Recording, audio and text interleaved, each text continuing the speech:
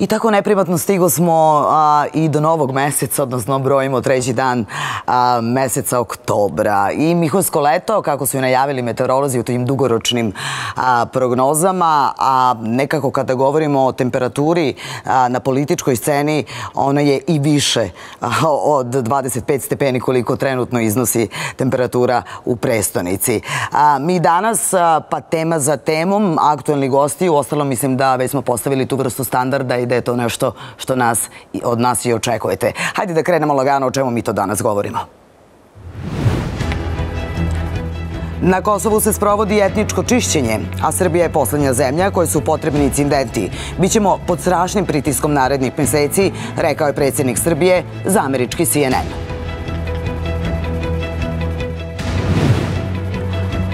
U tek usvojenom američkom budžetu za 2024. godinu nema para za Ukrajinu. Biden obećava da će ostati uz Kijev uprkos fijasku u državnoj kasi. Da li je ovo početak kraja rusko-ukrajinskog rata? Popis u poljoprivredi treba da pokaže kakva je krvna slika srpskog agrara. Šta su stvarni problemi?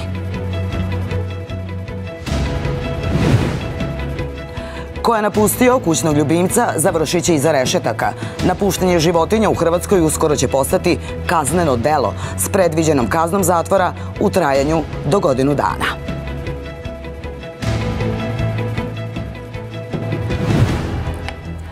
Srbija je poslednja zemlja koje su potrebni incidenti poput onih u Banjskoj. To je rekao predsjednik Srbije Aleksandar Vučić gostujući na CNN televiziji. Istakao da je mir u interesu naše zemlje i da će u cilju bezbednosti i sigurnosti Srba na severu Kosova i Metohije zahtevati veće prisustvo kvora. Srbiji je u interesu mir. Naša zemlja poštuje dinamiku pregovora i konstruktivan je partner, dok Priština nije uradila ništa. To je rekao predsjednik Srbije u intervjuju za CNN, koji je vodila novinarka Kristijana Amalpur, koja se proslavila izveštavanjem sa ratišta na prostoru bivše Jugoslavije. Vučić je objasnio kroz šta prolazi srpsko stanovništvo na Kosovu i Metohiji i istakao da želi veće prisustvo kvora na severu kako bi se obezbedila njihova sigurnost.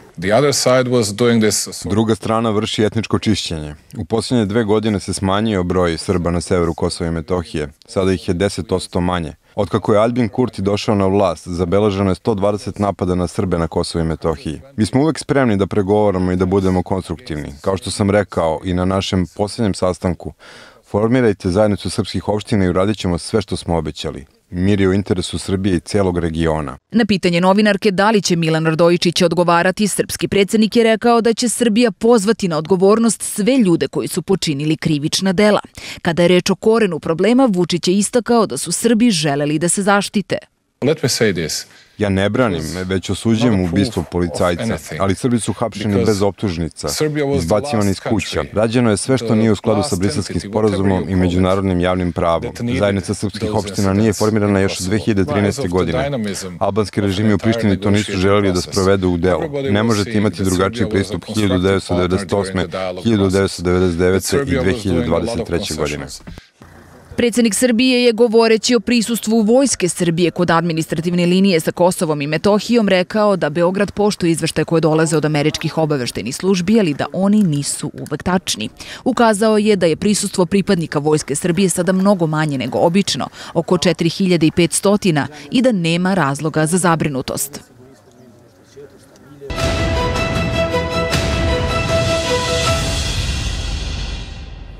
Predsjednik Srbije Aleksandar Vučić je u intervju za CNN koje je vodila novinarka Kristijana Mampur između ostalog rekao da su svi mogli da vide da je Srbija konstruktivan partner, a da Priština nije radila ništa. Oni vrše etničko čišćenje u poslednje dve godine se smanjio broj Srba na Kosovu i Metohiji, sada ih je 10% manje. Rekao je Vučić dodavši da je bilo 120 napada na Srbe sa Kosova i Metohije od kako je Albin Kurti došao na vlast. Mi danas pitamo zašto je baš u ovom trenutku trenutku novinarka koju srpska javnost percipira kao neko koji još od ratnih 90. godina širila propagandu protiv srpskog naroda, u goste pozvala baš predsjednika Srbije. U našem studiju danas dr. Zoran Milosavljević ispred Instituta za političke studije i Nenad Vuković, predsjednik društva lobista Srbije. želim dobar dan gospodinu Milosavljeviću koji je sa nama na video vezi i hvala vam što ste bili spremni da odvojite vreme za emisiju Mi danas i da nam pomognete da bolje razumemo i protumačimo sve ono što je izgovoreno juče u ovom intervju za početak. Ali pre toga vest koja je upravo pristigla, a Aleksandar Vučić upravo to izgovorio juče da će svi krivci biti privedeni pravdi, pa sada vidjet ćemo da li je neko kriv ili nije, dok se to ne dokaže, ali u svakom slučaju Milan Radojičić je priveden i to je informacija koju smo dobili od Ministarstva unutrašnjih poslova i zapravo određeno mu je zadržavanje od 48 sati, pa eto u tom smislu želim prvo da čujem komentar vaš na to. Pre svega da pozdravim vas i vaše gledalce. Trenutno sam u Novom pazaru, u jednom multietničnom okruženju i i po tom pitanju zapravo mislim da je jedan primer kako sve može zajedničkim dogovorom i, i dobrim odnosima da funkcioniše. imamo mnogo takvih primjera i zato hoću da ponovim ono što je predstavnik publike rekao. Dakle, mi smo se ponašali od samog početka po svim mogućim dogovorima, propisima, ne samo ono što smo se obavezali i potpisali, već pre svega i tom ljudskom odnosu. Dakle, mislim da je to zaostalo apsolutno svima osim pre svega odnosu prema nama, znači našoj državi, našem rukovodstvu, koje moram kazati do ovog trenutka zadržalo upravo onu stabilnost i bezbednost u čitavom regionu. Ponavljam, nalazim se u multičkom okruženju sada u Novom pazaru, ljudi funkcionišu, e, isto de, mišljenje e, dele, ovde je samo pitanje kako to neko drugačije želi da prikaže, da se to precipira u toj globalnom javnosti. E, gospođa novinar Kristina Lupoja je obavila razgovor, e, to jest intervju sa našim predsednikom i te kako zna dobro e, situaciju u ovom našem području i te kako je upoznata sa svim detaljima i ne slučajno je ona odadla taj intervju. Moram kazati da je predsednik e, Republike objasnio do detalja apsolutno stav naše politike, znači naše državnog vrha, dakle nije bilo nekih nejasnoća, ali bilo je dosta nereagovanja i u principu, ja bih rekao, još od kumanovskog sporazuma kada su se međunarodne snage u okviru međunarodne zajednice obavezale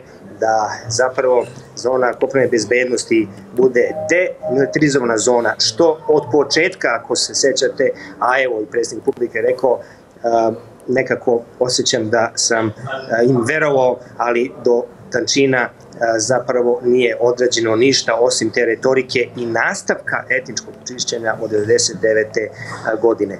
Ova nova informacija koja je zapravo pristigla po pitanju onih koji će biti odgovorni, on je to najavio, dakle to ništa nije novo, da će svi odgovorni, svi oni koji su učestvovali ili na određeni način uh, ugrozili bezbednost Republike Srbije i ugrozili pre svega uh, ustavnu povelju dakle, bit će privedeni pravdi i to je upravo ono što se ovog puta desilo. Dakle, istražni organi će uraditi svoje i jednostavno napraviti na kraju zaključak.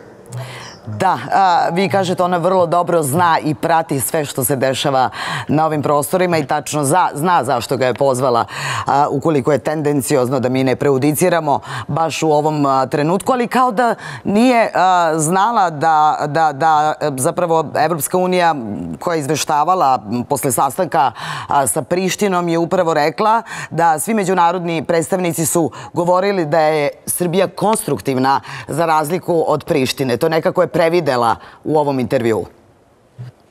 Upravo uh, sam zato i to rekao. Dakle, uh, sva pitanja uh, mi koji se bavimo pozdravom, dakle smo to pratili, ja i moram kazati lično u svoje ime, dakle svako pitanje je išlo u smeru interesa naravno nažalost, jednostavnog interesa. Ja ću biti malo i oštri po tom pitanju. Dakle, e, svako pitanje koncizno bilo jasno da je jednostavno, e, kako to naš narod kaže, plastično navodi se na svoju vodenicu i vrlo to e, čisto i kristalno našem, našem narodu zapravo šta je suština svega toga, ali da se vratimo mi pre svega na onu odgovornost i, i vidite onoga što se zapravo nije smelo desiti, a to je, nisam slučajno rekao od kumanskog sporazuma i tehničkog sporazuma i televizovane zone koja nikada nije smela da bude ugrožena i zloupotrebljena. I evo sada pogledajte šta se desilo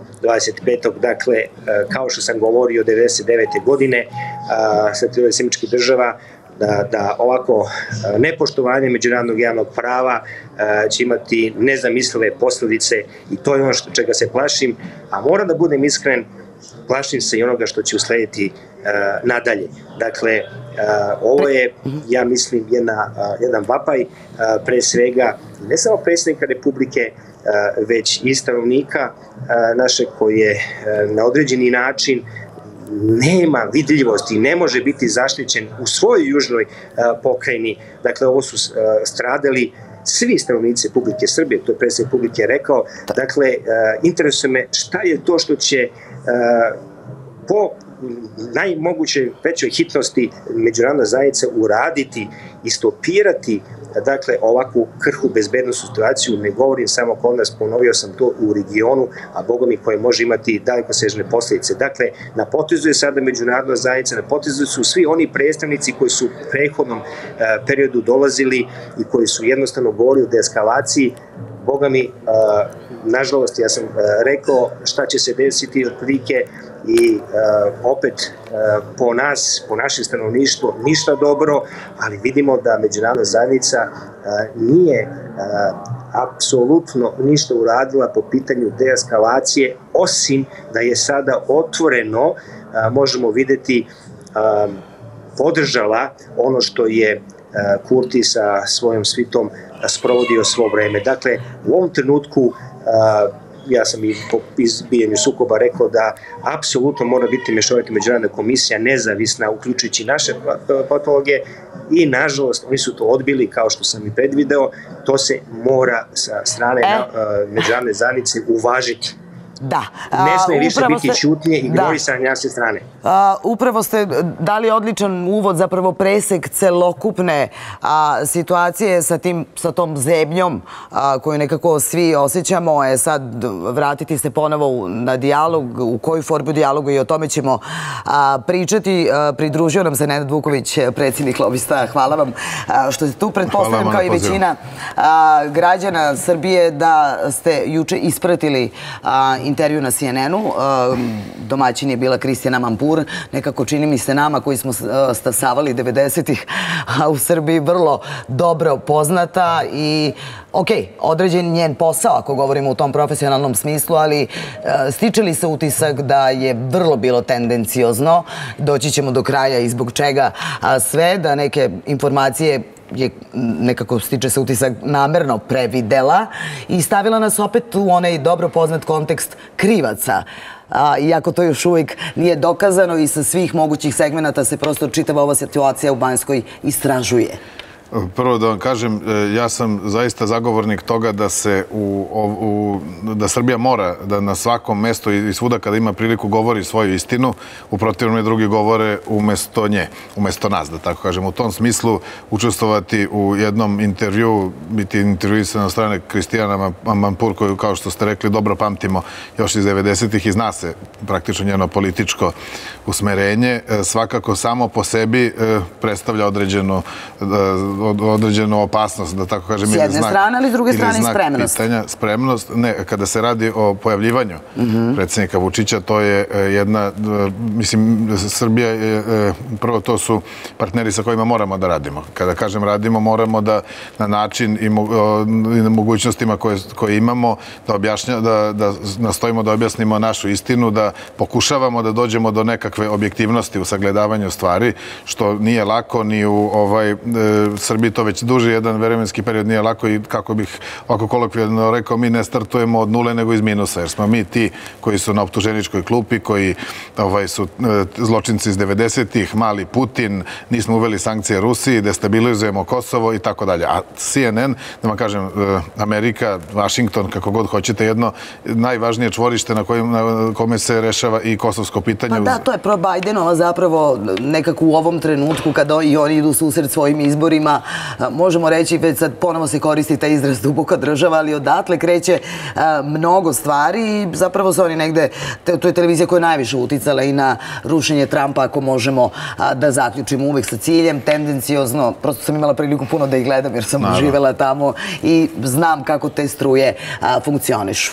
Gledamo i mi odavde, mm. jer ovaj, znamo da nam puno toga zavisi od njih. Naprimjer, ajde da malo iz nekog drugog ugla, skoro je, e, da tako kažem, pred, predsedniku Vučiću prebačeno, odnosno bilo je ovaj, e, ozbiljnih analiza gde kaže Vučić se udvara neliberalnoj Americi. Govorimo o intervju sa Takerom Carlsonom, e, predsednik je pre neki dan govorio za Wall Street Journal. Znači, e, ono, moja teza je da treba učestvovati svuda gde može da se učestvuje, biti, biti ovaj, prisutan, prisutan, i govoriti svoju istinu. Mm -hmm. Intervju, mislim da niko nije ni očekivao da će biti, ne da ne kažem blagonaklon, mi ne da ne možemo da očekujemo na toj strani blagonaklonost, nego se bukvalno borimo za objektivnost. Bilo je puno stvari koje su iznete, a znate, intervju je takva forma, e, ono što će vama reći dosta zavisi od pitanja koje ćete mi postaviti ili mogu da onako priča svako svoje. Znači, potpuno se razumemo i sada neka dublja analiza. E, Amerika je zemlja koja ima jako mnogo informacija, duboka država o kojoj govorite. E, znači, mogućnost ne samo da pravi analize i strateške planove, već da ih isprovodi. Znači, vi, mi imamo posla sa kim imamo posla i čak je to jedno momentu ispomenuto da mi kao mala zemlja, mene u nekim trenucima ova neka kao mini ova kriza oko Banjske, kažem mini samo u odnosu da, na primjer na, atent, na atentat u Sarajevu ili na nešto znači gde se mm -hmm. vi e, praktično imate unapred krivce i gde je vrlo teško razdvojiti, e, na primjer govorili smo ovih dana o tom uviđaju u Banjsku, uopšte pokušaju da se... Evo sad je gospodin Milosavić upravo uveo sa tom pričom da, da otprilike zna unapred kako će sve izgledati kada govorimo ja juče, i o obdukcijama da, i o telima. Da, i... kažem, vi tu im, prvo u situacijama povišenih emocija. Mm, tako Prvo strada istina, da ne kažemo u ratu. Vi, ćete, vi ovde imate najmanje dve ili možda tačnije reći tri istine. Jedna je istina e, kosovske strane, jedna je istina države Srbije, jedna je istina ovaj Kejfora i uopšte tih nezavisnih. Verovatno bi mogli da nađemo i četvrtu i tako dalje. Pri čemu je Srbija jedina ta koja praktično nema e, svoje neke timove na terenu, svoje forenzičare, krim tehniku, mogućnost da i tako dalje i tako dalje. Imali smo jako loših iskustava sa, sa, u prošlosti sa tim... Ovaj, Sećamo se toga, nemilih zaista. ono što jeste, jeste uh, značajno reći, to je da je uh, ovi događaji su nešto što ni u kom slučaju nisu, ovaj, to je možda motiv, a, kada bi izašli sa terena krivičnog prava, znači šta se desilo, koja su krivična dela počinjena, o tome će se sada ovaj, govoriti, evo govori se o ovom privođenju ili hapšenju mm -hmm. gospodina Radojičića. Time smo i počeli da prenu što ste vi ušli u studiju, da? Vidio sam, da, znači ovaj, e, krivično pravni aspekti, znači podrazumevaju jednu ozbiljnu istragu, podrazumevaju ovaj, šta se stavlja na... E, Ko istražuje? Ko će se sad baviti tom istinom? E, svako će se baviti... Sa svoje strane. Prvo će svi imati svoju interpretaciju istine. Mhm. E, onim delom tog nesretnog događaja će se baviti... Čija će biti poslednja? Posle, da opet govorimo o tome, da vam kažem, govorili smo zato istini. Ja sam advokat dosta mhm. dugo i ovaj, učestvao sam u istragama, ali nije mi problem da o tome govorim. Ali u ovom trenutku, da vam kažem, implikacije, pa vi ćete, svako će interpretirati u jednoj meri onako ako njemu odgovara. Jer tek što se događaj desio, jedna crno-bela podela je govorila, znači e, prisustvo naoruženih kosovskih policajaca je tamo potpuno legitimno, prisustvo nekakvih drugih naoruženih ljudi za koje se ispostavila su meštani, a ne nekakvi specijalci teroristi iz Srbije, je nelegitimno. E, u tom smislu svaka aktivnost kosovskih policajaca i sve što oni urade je dozvoljeno, a sve što urade naoruženi Srbi nije dozvoljeno. Sada imate tu masu pod pitanja. Šta će oni tamo? Da li smeju da budu prisutni naoruženi kosovski policajci? Koja je akcija i tako dalje? Ali u svakom slučaju da se mi zadržimo na onom delu da, da su zaista stradali ljudi, da su stradali od neke formacije čije, čija je ovaj, prisustvo i uloga u tom trenutku nejasna. E, Potpuno. I da. imate e, način da će zapadna javnost koja inače, kažem, mi smo u situaciji, bez obzira na zaista kvalitetan rad diplomatski, ako hoćete i lobistički, koji je pa počeo da daje... Pa i do tadašnji, tako nas je stavio u dobru poziciju u jednom trenutku i bukvalno posle tri dana se ovo dogodilo. E, on, mi smo upozoravali mi smo upozoravali, e, kao, e, s obzirom na proučeno lobiranje i tako dalje, da sigurno e, izuzetno jak, utemeljen, bogat, motivisan, organizovan lobi ili politička grupa koja podržava kosovske Albance neće mirovati i da će sve učiniti, da će naći načina i priliku da pokuša da preokrene taj momentum. Zašto su i kako se desilo da su to uključeni i Srbi, nažalost i ove žrtve i mislim, ja mislim da su tu svi žrtve, bez obzira na sve. Ali sada toliko interpretacija će biti e, na koje će e, biti veoma, veoma teško dati odgovor. A, evo, e, gospodine Milosavljeviću, tačno znam gde ste zastali, a to je rekao i predsednik i u intervju i generalno obraćavši se naciji, a to je reakcija ili ne reakcija međunarodne zajednice. Vidite, ja ću dodati još nešto tu. Da nije bila Bajanska, bilo bi nešto drugo. Dakle, ovde se samo tražio pogodan moment i zato kažem da sačekamo naše istražne organe po ovom pitanju sada i, i provođenju privođenju gospodina Dojčića, šta će se tu još ovaj, jednostavno saznati i obraditi. E, prosto ne reakcija međunarodne zajednice. Od početka, ja ću kazati još jedan e, veoma bitan detalj, znači po formiranju e, kumalanskog sporazuma, dakle i kopane zone bezbednosti. Naše oružane snage, koje su jednostavno dovodene na administrativnu liniju, za njih je to granica, dakle, svi pripadnici su bili oni koji nisu učestvovali u oruženom sukobu. Suprotno od toga, pogledajte šta je međunarodna zajednica dozvolila da se zapravo teroristi Ja ću to jasno naznačiti, jer vidim da u medijima se o tome ne govori, ne znam iz kog razloga, da li se neko plaši ili šta je u pitanju, to mene ne interesuje. Dakle, gde su takozvani ne znam, policajci ili njihovi sada predstavnici, apsolutno maskirani, znači skinuo se njihove obležja teroristička i oni su dovedeni i instalirani u institucije, čak i u vojsku i u policijske snage njihove, koje apsolutno nisu smeli da e, ne ne postoje po pitanju znači onoga što je uh, i zapisano i što je dogovoreno i što je obavezujuće. Dakle demilitarizovana zona dakle KFOR je ovde morao da e, od početka preuzme apsolutnu e, kontrolu inače ovako nečega nije, ne, bi, ne bi došlo. To ne govori sada šta je trebalo i kako je trebalo, nego zašto je to a, e, strateški tako urađeno, kao da je neko apsolutno znao fazno kako će polako vući tu vrstu a, a, a, kocke, dakle, prema toj pokušaju nezavisnosti, da ne govorim da svi oni koji su e, učestvovali Ops, nadam se da ćete, nam, da ćete nam se brzo a, vratiti, ali evo, možemo i da se nadovežemo, ali želim i da kažem a, da Vučić u ovom, opet kažem, obraćanju i nacija i u ovom intervju, on je rekao, pričao o korenu problema na koje stalno podsjeća obraćajući se i stranoj javnosti i u svojim susretima da će doći do jedno, u jednom trenutku do toga da će a, ljudi koji žive a, na severu želeti da zaštite svoje porodice, a, svoje kuće, ali verovatno nije planirao da će to biti ovako i, i, i da zapravo na neki način neće biti informisan o ono što se događa. E, srpski narod na Kosovu, kako u severnom delu, tako možda još više u, u drugom, u južnom, da tako Znate, kažem, delu, s druge voda strane. ide, ide, ide, pa više ne može. Živi u dramatičnim uslovima, živi u uslovima strahovitog pritiska, bez svojih predstavnika u civilnim organima, bez svojih predstavnika u vojsci i policiji, bez mogućnosti da komunicira, da se leči, na kraju da, da ne znam, da dobija duhovno okrepljenje odeljenje ili da nabavlja osnovne artikle. Znači, sigurno je da je to jedna potpuno neonormalna klaustrofobična situacija, situacija koja u, u dobroj meri podsjeća na geto.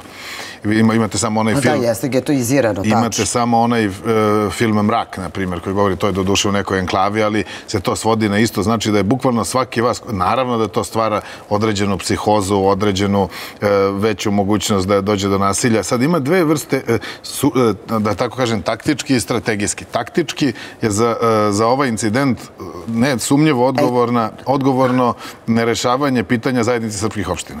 Upravo sad vežite za ovo što sam sada rekao. Znači, Srbi su bez svojih predstavnika, Tako nesigurni, je. uplašeni. Šta je drugo, šta ćete vi drugo da pomislite nego da se samo organizujete? To su dostojanstveni ljudi, bio je ovde i rat, bilo je oružje i svega. Potpuno je logično da će ljudi da se samo organizuju, da probaju da zaštite. I Kurti ni, po, ni po kakvu cenu ne želi upravo da dozvoli da se Srbi vrate u svoje institucije. Da, e, to je jedan nivo problema koji je veoma važan i koji mora da se na neki način vrati na teren. Po prvi put su čak na malo oštriji to način to shvatili i Evropska zajednica i naročito Sjedinjene države i to je nešto na čemu se, da kažem, relativno ili dosta uspešno radilo. Onda se desi ovakav incident i vi se vratite tri koraka unazad, vratimo se A kako vi reagujete na ovo što smo malo čas imali priliku, ja se nadam da će nam se gospodin Milosavljević vratiti, što je rekao kao da je neki strani faktor ili neko ko je posmatrao ili nekom kome je bilo interesu zapravo organizovao čitavu akciju. To nam ja je mutno. ja sam vam govorio malo pre, mislio sam da, da se razumemo, Pažljivo govorio sam o ozbiljnosti, ozbiljnosti tog uh,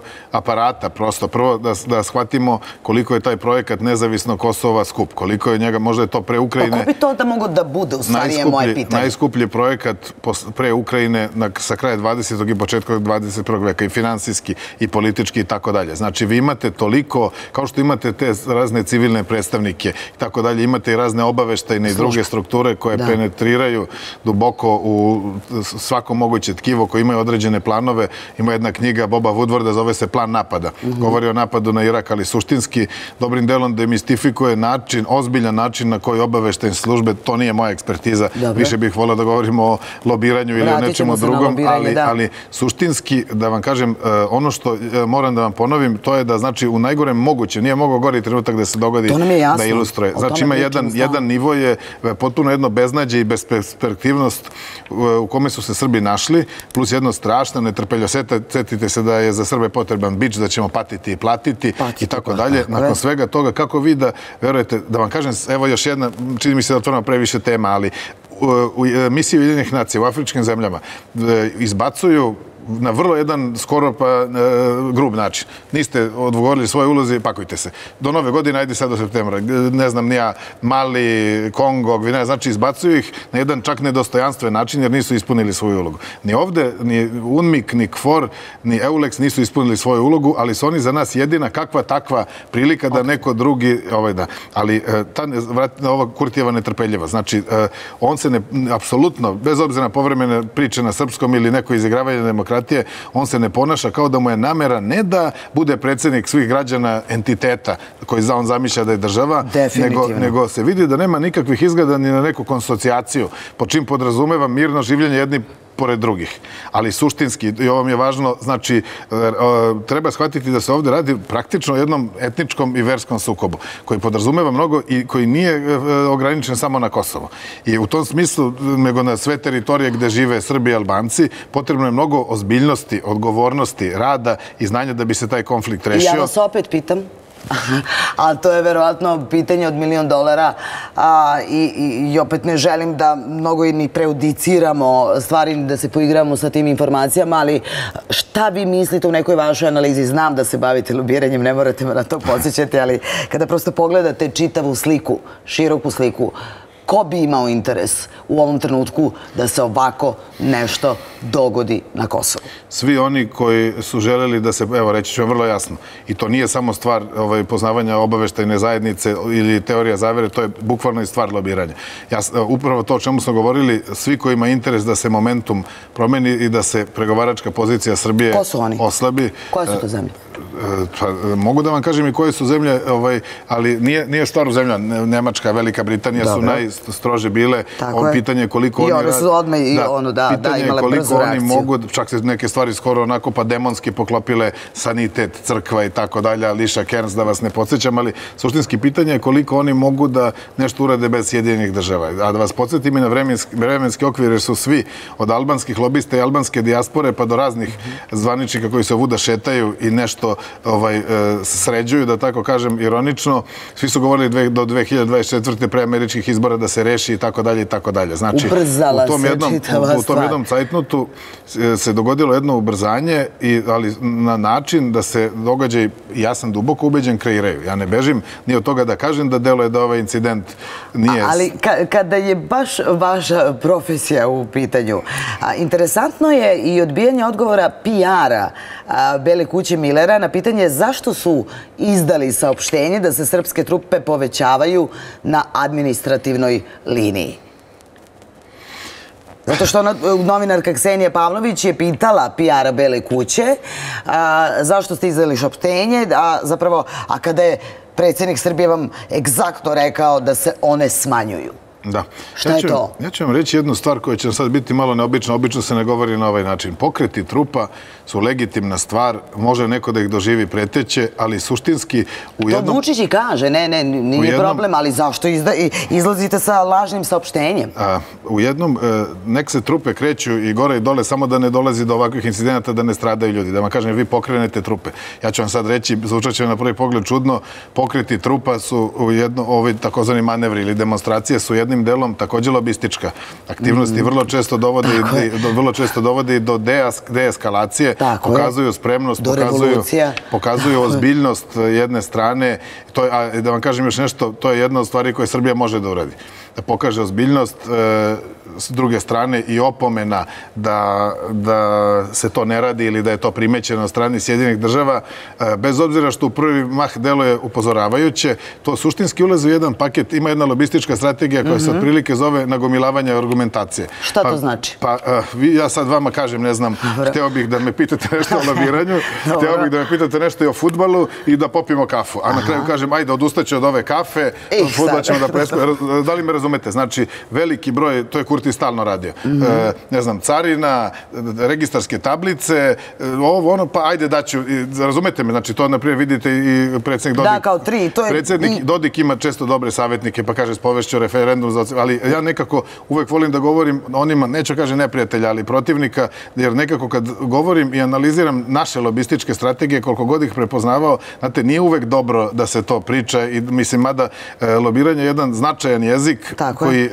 Zapad razume. Važan. I u tom smislu ovo, ovo pitanje, reći ću vam još jednu stvar, ja smatram e, uz sve ograde i težinu na koje na celu priču dodao ovaj nesretni incident, da Srbija ima malo jaču kartu u rukavu kada se radi o očuvanju bezbednosti na ovim prostorima, jer kao što Srbima nikako nije odgovaralo ovo što se desilo, ne odgovara u širem smislu, a Amerikanci to najbolje vide, ne odgovara da ovde postane e, period neke veće destabilizacije ili nestabilizacije, to bi suštinski odgovaralo, da kažem, nekoj ruskoj strani u, u, u celom ovom geopolitičkom zapletu u Evropi, jer... E, A što? Pa zato što bi imali još jedan teren, na, za, da tako kažem, za delovanje, kao što im je odgovarala i Sirija, kao što im odgovara na neki način e, ovaj gubitak reputacije Zapada u Africi ili sve ove igre. To je jedna velika geopolitička tabla, ali e, zaista tu su neke stvari vidljive, neke stvari su jasne, ali u igri imperija ili velikih sila u geopolitičkim igrama male zemlje stradaju. To je ono što je... I to je negdje imperativ 21. veka, to je upravo osvajanje manjih teritorija, kao da su se iz nekog centra moći upravo tako govorili. Ako malo čitamo Nauma Čomskog ili još neki ljudi koji dobro... John Mearsheimer dosta Ako analiziraju uh, budućnost geopolitičku, to nam to upravo sada živi živimo. A, mi smo, nažalost, na takvoj pozi pa da, geografskoj pa poziciji. I tako, plus.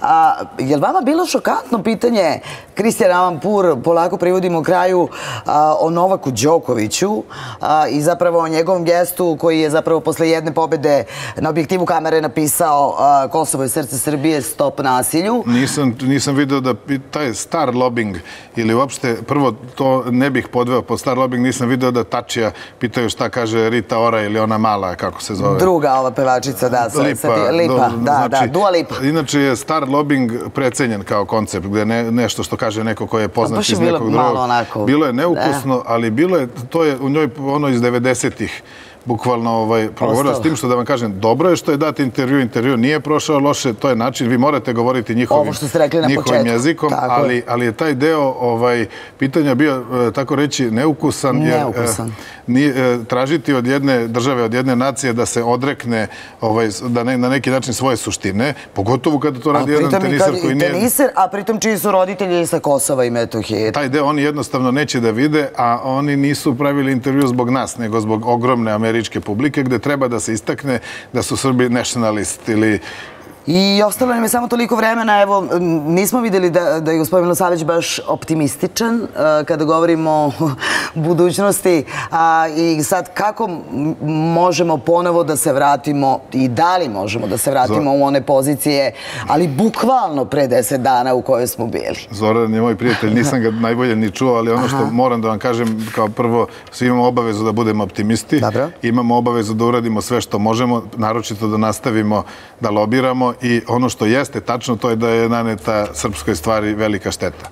Puno Ali, posla za vas i za vaše je. kolege, lobiste. Tako je, da. za sve koji razumeju i e, smatraju da su dobronamerni. E, ono što mi nijednog trenutka nismo imali iluzija, to je da imamo, da je naš protivnik veoma jak. Ne kosovski albanci, nego svi oni koji stoje iz, iza njih i geopolitički projekat. Znači, Srbija mora da ostane i as, aserna, aservat, asertivna, a i rezilijentna, čak i konsilijentna. Mi pristajemo, znači, na, na, suverenitet... Dogovor, uh, um, ali u miru sve vreme u miru. E, suverenitet Srbije mora da se očuva pa po cenu i nekih žrtava. Nije nikad, ne bi smio da bude problem da se sprovede svaka istraga koja se sprovodi po zakonu, koja se sprovodi objektivno. Naša, naša zaštita, naše argumenti su ovaj, međunarodno pravo i istina. Koliko god do nje može da se dođe. A, i za sam kraj, evo i moj utisak kako mogu da iznesem. Jako je bilo čudno posle opet nekih odličnih pregovora i razgovora sa hrvatskim e, premijerom.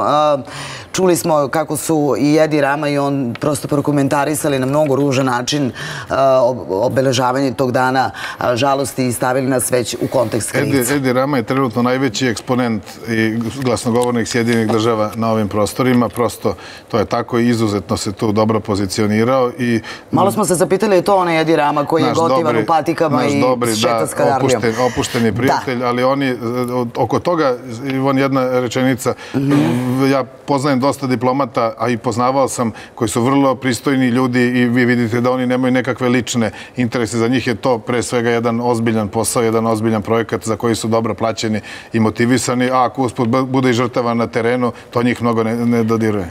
Veliko vam hvala što ste nam stvarno pomogli da bolje razumemo ovu čitavu situaciju i da je kroz ovaj ugao promatramo a, u budućnosti.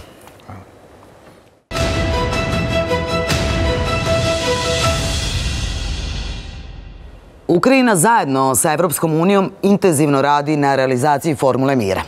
Tokom neformalnog sastanka u Kijevu, visoki predstavnik Evropske unije za spoljnu politiku i bezbednost Josep Borelj obećao je novi paket vojne pomoći Ukrajini. Oštri odgovori stigli su iz Moskve. Mirno nije ni na frontu. Kijev je bio domaćin neformalnog sastanka ministara spoljnih poslova Evropske unije kojim je presedavao visoki predstavnik Evropske unije za spoljnu politiku i bezbednost Žozep Borelj. Tom prilikom, prema rečima ukrajinskog predsednika Volodimira Zelenskog, otvorena su mnogobrojna pitanja, između ostalih zaštita ukrajinskih civila i žitne infrastrukture. Takođe, Zelenski je tom prilikom tražio od Evropske unije uvođenje novih sankcija Rusiji. Imali smo veoma produktivne sastanke. Bilo je važno da definišemo koja pitanja su nam prioritet i kako će se ona rešavati kada Ukrajina zvanično bude deo Evropske unije. Takvi sastanci nisu samo važni za našu zemlju, već za celu Evropu. Svi znamo da je pitanje trenutka kada će Ukrajina biti deo Evropske unije. Pitanja je mnogo, ali mi se trudimo da imamo spremne odgovore. Prema rečima Žozepa Borelja, jedna od glavnih tema bila je ukrajinska formula mira. Kako kaže, to je recept za mir kako Evrope, tako i celog sveta.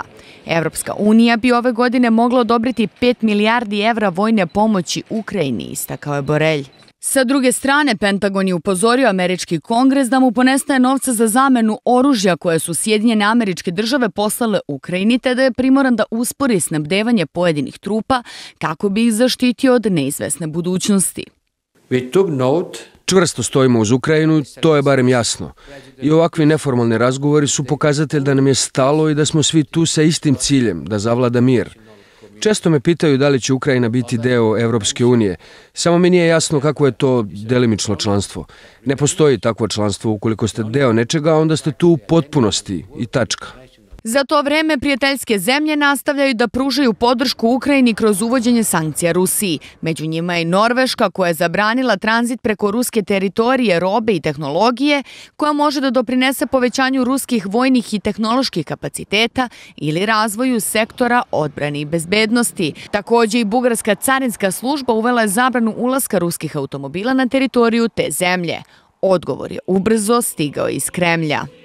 Bio sam zapanjen koliko su brzo evropljani, praktično svi, skinuli maske iza kojih su se krili poslednjih nekoliko godina i tako pokušavali da sačuvaju trunčice ne samo diplomatije, već i elementarne etike. Generalno gledano, ovo je manifestacija onoga što se obično naziva nacizmom, isključivo u odnosu na Ruse. Nastavljeni su svakodnevni obračuni dronovima. Ruska vojska izvela napade u pravcu Limana, Bahmuta, Avdejevke, Marinke i Šahtorojska, saopšteno iz Kijeva. Oni su takođe potvrdili da je dvoje ljudi ubijeno u ruskom napadu na Herson. Sa druge strane, iz Moskve poručuju da je meta Kijeva i dalje Belgorodska oblast. Umeđu vremenu Harkov će izgraditi prvu potpuno podzemnu školu sa ciljem da zaštiti učenike od učestalih ruskih raketnih napada. To su saopštile gradske vlasti uz objašnjenje da takvo sklonište će omogućiti hiljadama dece u Harkovu da nastave bezbedno obrazovanje licem u lice. Američki predsjednik Joe Biden potpisao je u nedelju zakon koji je odobrio kongres, a koji će nastaviti da finansira američku vladu u periodu od 45 dana do 17. novembra. Istovremeno, zakon ne predviđa izdvajanje sredstava za potrebe Ukrajine. Mi danas pitamo zašto je izbrisana stavka Ukrajine iz američkog budžeta i da li je ovo kraj rusko-američkog rata. Sa nama u studiju Ljubinka Milinčić, glavna i odgovorna urednica Sputnika i Emil Zorović iz Omladinske mreže Srbije. Dobar dan, hvala, veliko zadovoljstvo. Po prvi put se vidimo i u ovom ambijentu i u našoj emisiji mi danas. A, I očekujemo pa mnogo odgovora i evo sad očekuju u ovoj situaciji analizi kada je Kosovo a, u pitanju pominjana je a, Rusija, ali ono što hoću da vas pitam, evo kako vi čitavate ovo da nema budžeta u planiranju planiranom budžetu, odnosno da nema sredstava a, upravo koja će biti namenjena Ukrajini. Da li to znači kraj ili... Ili novi početak. Da li ih zaista nema? Da. Pa ja ne bih rekla da ih zaista A, nema, to. jer je Biden odmah rekao da oni neće ostaviti Ukrajinu bez para. E sad postoje razni razlozi, ja ponekad imam dilemu da li je ovo ili ono, da li će recimo sad Biden nastaviti da ih direktno finansira iz nekih drugih izvora, mm -hmm. jer ne mora sve da prođe kroz taj budžet, može kroz raznorazne paralelne izvore finansiranja, uključujući na kraju krajeva i velike korporacije koje mogu kao dobrovoljni Oni prilog. kaže, ni pod kojim okolnostima ne mogu dozvoliti a, da zapravo se američka podrška Ukrajini prekine. Tako je, dakle, bit će podrške, bit će para, neće biti iz budžeta, bit će sa neke druge strane. Međutim, ima još jedna varijanta koja govori da je Biden to uradio zato što je osetio da njegov narod sve više i više se buni, što je postaje sve siromašniji. Amerikanci e, su jedno vreme živeli tako da je svaka sledeća generacija živjela bolje. Odavno već to nije tako. I, a sad je sve gore i gore, što je opet e, druga suprotnost. I naravno, pred izbore je važno servirati što lepšu sliku, što bolji život. I onda tu, to, to je fantastična prilika za zaradu. Zamislite vi ovako, Biden ne šalje novac Ukrajini. Dobro. E, zamoli svoje prijatelje u Evropi. Uslovno rečeno zamoli, postoji drugi izraz, postoji drugi izraz za to. Oni šalju svoje oružje Ukrajini, ali oni moraju da imaju oružje. A šta će, odakle će im biti oružje? Kupit će ga od Amerike. Amerika će na tome još i zaraditi. Tako da je slika Amerike sve bogatije i bogatije verovatno dobra slika za američkog glasača. Na šta nam ukazuje uopšte jedno prilično previranje, možemo slobodno da kažemo, Emile, u predstavničkom domu, pa i odustajanje od zapravo predsjedavajućeg Kevina McCartneya, od zahteva svog desnog krila republikanske stranke, sad kontra, od Bajdena sa oštrim rezovima oslanjanja na demokrate i na usvojene zakone. Pa, odnosno zakon. Upravo sve ovo o čemu danas pričamo imaju veze mnogo više sa republikancima nego sa samim Bajdenom, zato što da se Bajden pita, odnosno da je, da, da je to sistem autokratije neke, on bi, taj, on bi to proturio i ne bi, ne bi ni pitao. Međutim, idu izbori i sve moramo da gledamo sada što se događa u Americi kroz prizmu američkih izbora. Ono što uh, su demokrate uh, pokušali u ovom trenutku, to je da nastave, da kontinuiraju politiku, međutim, republikanci su to dočekali onako kako kako su smatrali da treba, odnosno da bi skupili jednostavno političke pojene na svemu ovome. To ne znači da će Amerika prestati da finansira Ukrajinu, da će Amerika znači, prestati da, znači. da, da pomaže Ukrajinu. Ne, naravno da ne znači. U da. isto vreme, u isto vreme dok slušamo to, imamo najavu iz Evropske komisije da će, da će Evropa zapravo pomagati vojno sa 5 milijardi vojne pomoći u 2024. godini.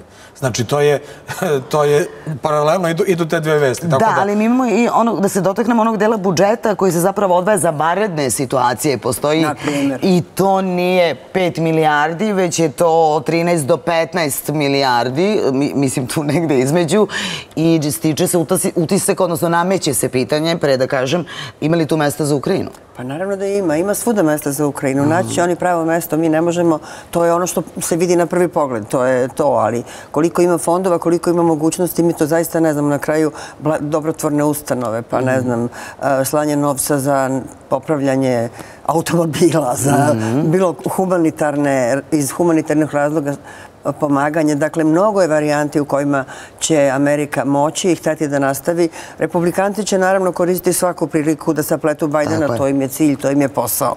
Pogotovo sada. Naravno, pogotovo sada. I mi, ja kažem uvek i kad se, ako se promeni vodeća partija. Nisam sigurna da će se mnogo promeniti američka politika, ali ovo je trenutak kada oni mogu da zaoštre situaciju do maksimuma i da probaju da na taj način svoje glasače usmere prema svojoj teritoriji, prema svom cilju. Da, očekivano stižu komentari na usvojeni SAD budžet. Jedan je ovaj, usvajanje zakona o privremenom finansiranju rada vlada SAD-a koje ne predviđa izdvajanje sredstava za pomoć Kijevu dovešće do raspada Ukrajine za 45 dana. Ovo je rekao bivši savjetnik ukrajinskog predsjednika Leonida Kučme, Oleg Soskin na svom YouTube kanalu. Kako komentarišete ovo pitanje za oboje? Evo, Emile, prvo. Pa čuo sam to sad. Nije, nije to nešto što treba uzeti za ozbiljno, odnosno mhm, da komentar jeste na mestu. I, Ali sa ozbiljne pozicije čovjek govori, da. Ukoliko, sada, ako uzmemo hipotetički, da mhm. prestane da se finansira Ukrajina, to onda jeste istina, možda Ukrajina mesec dana do mesec i po, da bi mogla da, da izdrži u sukobu sa Rusijom. I to, s te, s te tačke gledišta, to jeste tačno. Znači, ukoliko ne bude para za Ukrajinu, Ukrajina ne može da ratuje, tako da hipoteza stoji. Međutim, opet moramo da se vratimo na sve ovo da ima para za Ukrajinu, da, da će da se nastavi finansiranje sa svih strana i da jednostavno to neće biti način kako će ovaj rat biti prekinut. Znači, neće se rat prekinuti zato što Amerika prestaje da šalje novac Ukrajini. To se neće desiti, to je, mislim, svima ovde jasno i, i u studiju i, i gledalcima, nego mislim da će ipak da naći Amerika druge načine, da će naći Biden druge načine da jednostavno uradi to što je želeo. kontinuirano da nastavi zapravo. I apsolutno se slažem da kogod da bude bio na vlasti u Americi... Da se ni tu neće mnogo promeniti. Da se neće promeniti. Jedino što... Da, apsolutno će podrška Ukrajini ostati, samo je pitanje u kom obliku, odnosno da li će, da li će biti toliko vojne ili će biti Ukrajina natrana na mir. Ali svakako da ostaje podrška Ukrajini i da se Amerika ni po koju cenu neće odreći Ukrajini. Ali dosta je zanimljivo, hoću da vas pitam, održan jedan taj neformalan, tako su ga nazvali, sastanak Evropske unije i tu takođe u Kijevu je zapravo izražena je podrška Ukrajini, ali zapravo nije obećana nova pomoć. Znate, tu ima mnogo licemerja. Malo pre... Pa i meni nešto, ja sad sve ovako kako vas pažljivo slušam. Svi Ukrajini zvaničnici moraju da nastave da traže pare, da kukaju uslovno, jer kako će on, znači Ukrajina kaže dobro, neće nas finansirati, idemo mi dalje. Naravno da ne može i oni znaju i ceo svet zna da oni zavise od pomoći, od te financijske pomoći sa strane. Kako će se zvati, da li kroz budžet, da li ovako mhm. ili onako, ali eto sad u toj situaciji koja formalno deluje kao sad malo zastrašujuće za Ukrajinu, evropski zvaničnici dolaze da pokažu oni svoju podršku. Malo je smešno, malo je licemirno i naravno malo je glupo kad Annalena Baerbock kaže da će biti, e, šta beše, Evropska unija od e, Luganska do do Vladivostoka. Valjda će i Rusija ući u Evropsku uniju, pa će onda to sve biti jedna njena teritorija. Tako da sve je to smešno i sve je to tragično. U suštini to je veoma, veoma tragično. I možda bi, ako sad idemo napred, za Ukrajinu bilo dobro da prestane finansiranje sa strane i da se sedne, da se razgovara. I ako je to jedini uslov za razgovor, a jeste, dokle god neko podstiče i tera ih na nove podvige, uslovno nazvano podvige, mm-hmm. oni će da ginu i da ginu i da ginu i onda zaista se postavlja pitanje da li je taj prestanak finansiranja rešenja. Ali Evropa se žali uh, i, ne, i, i prosto ispražnjene kapacitete kad je naoružanje uh, u pitanju i možda neki od njih i nisu toliko licemerni ili prosto nisu više u mogućnosti na, da na taj način. Pa naravno, Evropa je druga žrtva. Prva žrtva je mhm. Ukrajina, druga žrtva je Evropa. Evropa je naterana. Vi sećate da je Trump imao problem da ih natera daju 2% za NATO. Oni sad daju daleko više od toga, ali je napravljena ta šema o kojoj sam nagovorila na početku. Mm -hmm. Oni daju, a onda kupuju kupuju od Amerike. Amerika je dobitnik broj jedan. U svakoj situaciji gubi Ukrajina. Ukrajina nestaje. Evropa, pitanje je da li će postojati u ovom obliku posle ovog rata, jer će se mhm. raspasti. Da li će biti NATO ili neće biti, vidjet ćemo. Rusija će morati da vida rane i svoje i ukrajinske. Amerika će, kao i uvek, posle svega toga da zarađuje. A, ove, Josep Borelj je rekao na ovom sastanku zapravo da, da se negde ne plaše više raketa ili bespilotnih letelica, to je on dodao. Kako prosto komentarišete e, taj njegov i stav i odnos prema i Rusiji prvenstveno, hajde da kažem? Da, svakako vidimo da zapravo Ukrajina dobija naoružanje i da dobija mhm. ono što traži, odnosno danas ne dobiju, sutra ne dobiju, ali za pet dana dobiju ono što su tražili i jednostavno već nekako to što Ukrajina ima danas na ne samo na frontu, nego generalno što ima u svom posjedu, mnogo je više od toga što imala pre godinu i po dana i samim tim da jednostavno neki sistemi su već i prevaziđeni za, za, za ovaj vid borbe. Međutim, normalno Rusija ne sedi u mestu i sad gleda kako se Ukrajina oružava, nego i Rusija menja svoje vojne taktike. Znači, Rusija sada menja da, način na koji ona ratuje ovde, pa više ni Rusija da, ne ratuje sa određenim tipom raketa, nego koristi neke druge, pa sad koristi jedne avione, koristile do juče druge, pa vidimo da jednostavno se menja način na koji se ratuje. Tako da, s jedne strane, pitanje je, tačno je, dronovi Sad sam jesu da napravili, Dronovi jesu napravili da veliku prednost Rusiji na tom samom početku, pre svega ovi normalno iranski. To je kao mala revolucija da, koja se zapravo desila. Iranski ovi dronovi šahedi, međutim, to je, e, već su našli, što bi bilo čudno da nisu, našli su već način kako da odreaguju na te napade dronova, pa danas sve manje dronova prolazi dalje. Ali Rusija sada koristi neke mnogo jače rakete, mnogo ozbiljnije rakete nego što je koristilo dok je koristilo dronove. Tako da i to je sad pitanje koje je tu u prednosti i koje je na gubitku. S druge strane imamo ukrajinske neke sad rakete koje su... Da li može u ratu neko biti u prednosti? Tako je, dosta jače. Da li je sad bolje što neko ima jače rakete? Za mene nije bolje ni jedni drugi da imaju jače rakete. Tako da e, svakako da jeste e, problem to što se naoružava i što stiže sve više oružja, sve ozbiljnijeg oružja mhm. na sam front i ja se iskreno nadam mirovnim pregovorima u skoroj budućnosti. Međutim, toga nema. Mi nemamo realne mirovne inicijative ni s jedne strane. E, tu hoću sad vas da pitam. A šta zaista, svesni smo naravno i, evo i to nekako povlači se paralela i sa trenutno našom situacijom na Kosovu, upravo to ponovo sesti i razgovarati, što često deluje kao nemoguća misija, ali do toga moramo prosto doći da bi se i ovo zaustavilo konkretno kada govorim na, na, na relaciji Ukrajina-Rusija. Kako vi vidite e, na važnom ste mestu i prosto u svakom trenutku imate informaciju o onome šta se dešava? Informaciju više. Putin mi javlja onako. Ne, nisam to tako baš zamislila, ali prosto informisani ste i znate šta se događa. A možda i javlja, ne znam. ja mislim da nije vreme za mir.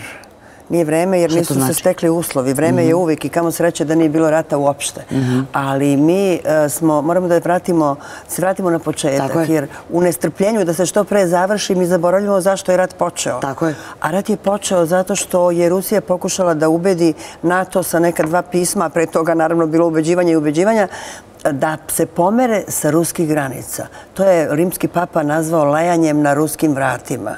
Dakle, prestanite da lajete na vratima Rusije. Oni to nisu ozbiljno shvatili. Kad vi kažete Borelj je, Borelj je rekao da se ne boji i ruskih raketa. Kako sreće da se boji? Jer pa- e, bilo bi manje, manje bi se srljalo. Jer ruska, rusko oružje, to svi znaju, uključujući Ameriku i oni sve koji huškaju Ukrajinu na rat, je u ovom trenutku jače Govorim o onom posljednjem, onom posljednjoj instanci kad Rusija može, i nadam se da nikad neće, da upotrebi hipersoničnu raketu. Dakle, ako vi stalno onoga ko je jači, dražite, terate ga da ratuje, provocirate. To nije normalno. Do sad nikad nismo imali situaciju u, bilo kojem, u, tom istori, u toj istoriji posle drugog svjetskog rata. A čak na početku i ovoga rata svi su stišavali. Da, da, neko provocira zemlju koja ima atomsko oružje. To nije logično, je li tako? Normalno da se plašimo. Strah je normalna, normalni faktor. Da se ne plašimo, mi bismo srljali na automobile, na ne znam šta bismo sve radili ako nema straha. I nije, po, nije ponos reći ja se ničega ne plašim. Kamo sreće da se plaše, da sednu da razmisle. Rusija je otvorena za pregovor od početka. I vi se sećate, na početku su bili jedni pregovori. I čak je i Zelenski bio za pregovore. Mhm. Zelenski je poslao Putinu svoj papir sa nekim zahtevima koji su Rusiji bili prihvatljivi. Bilo je ostalo da sednu još definišu neke stvari, možda malo levo, malo desno, malo ovo, malo ono. Međutim, došli su Englezi i rekli ne može, Amerikanci su rekli ne može. Jednog od pregovarača su ubili na ulici, metkom u čelo.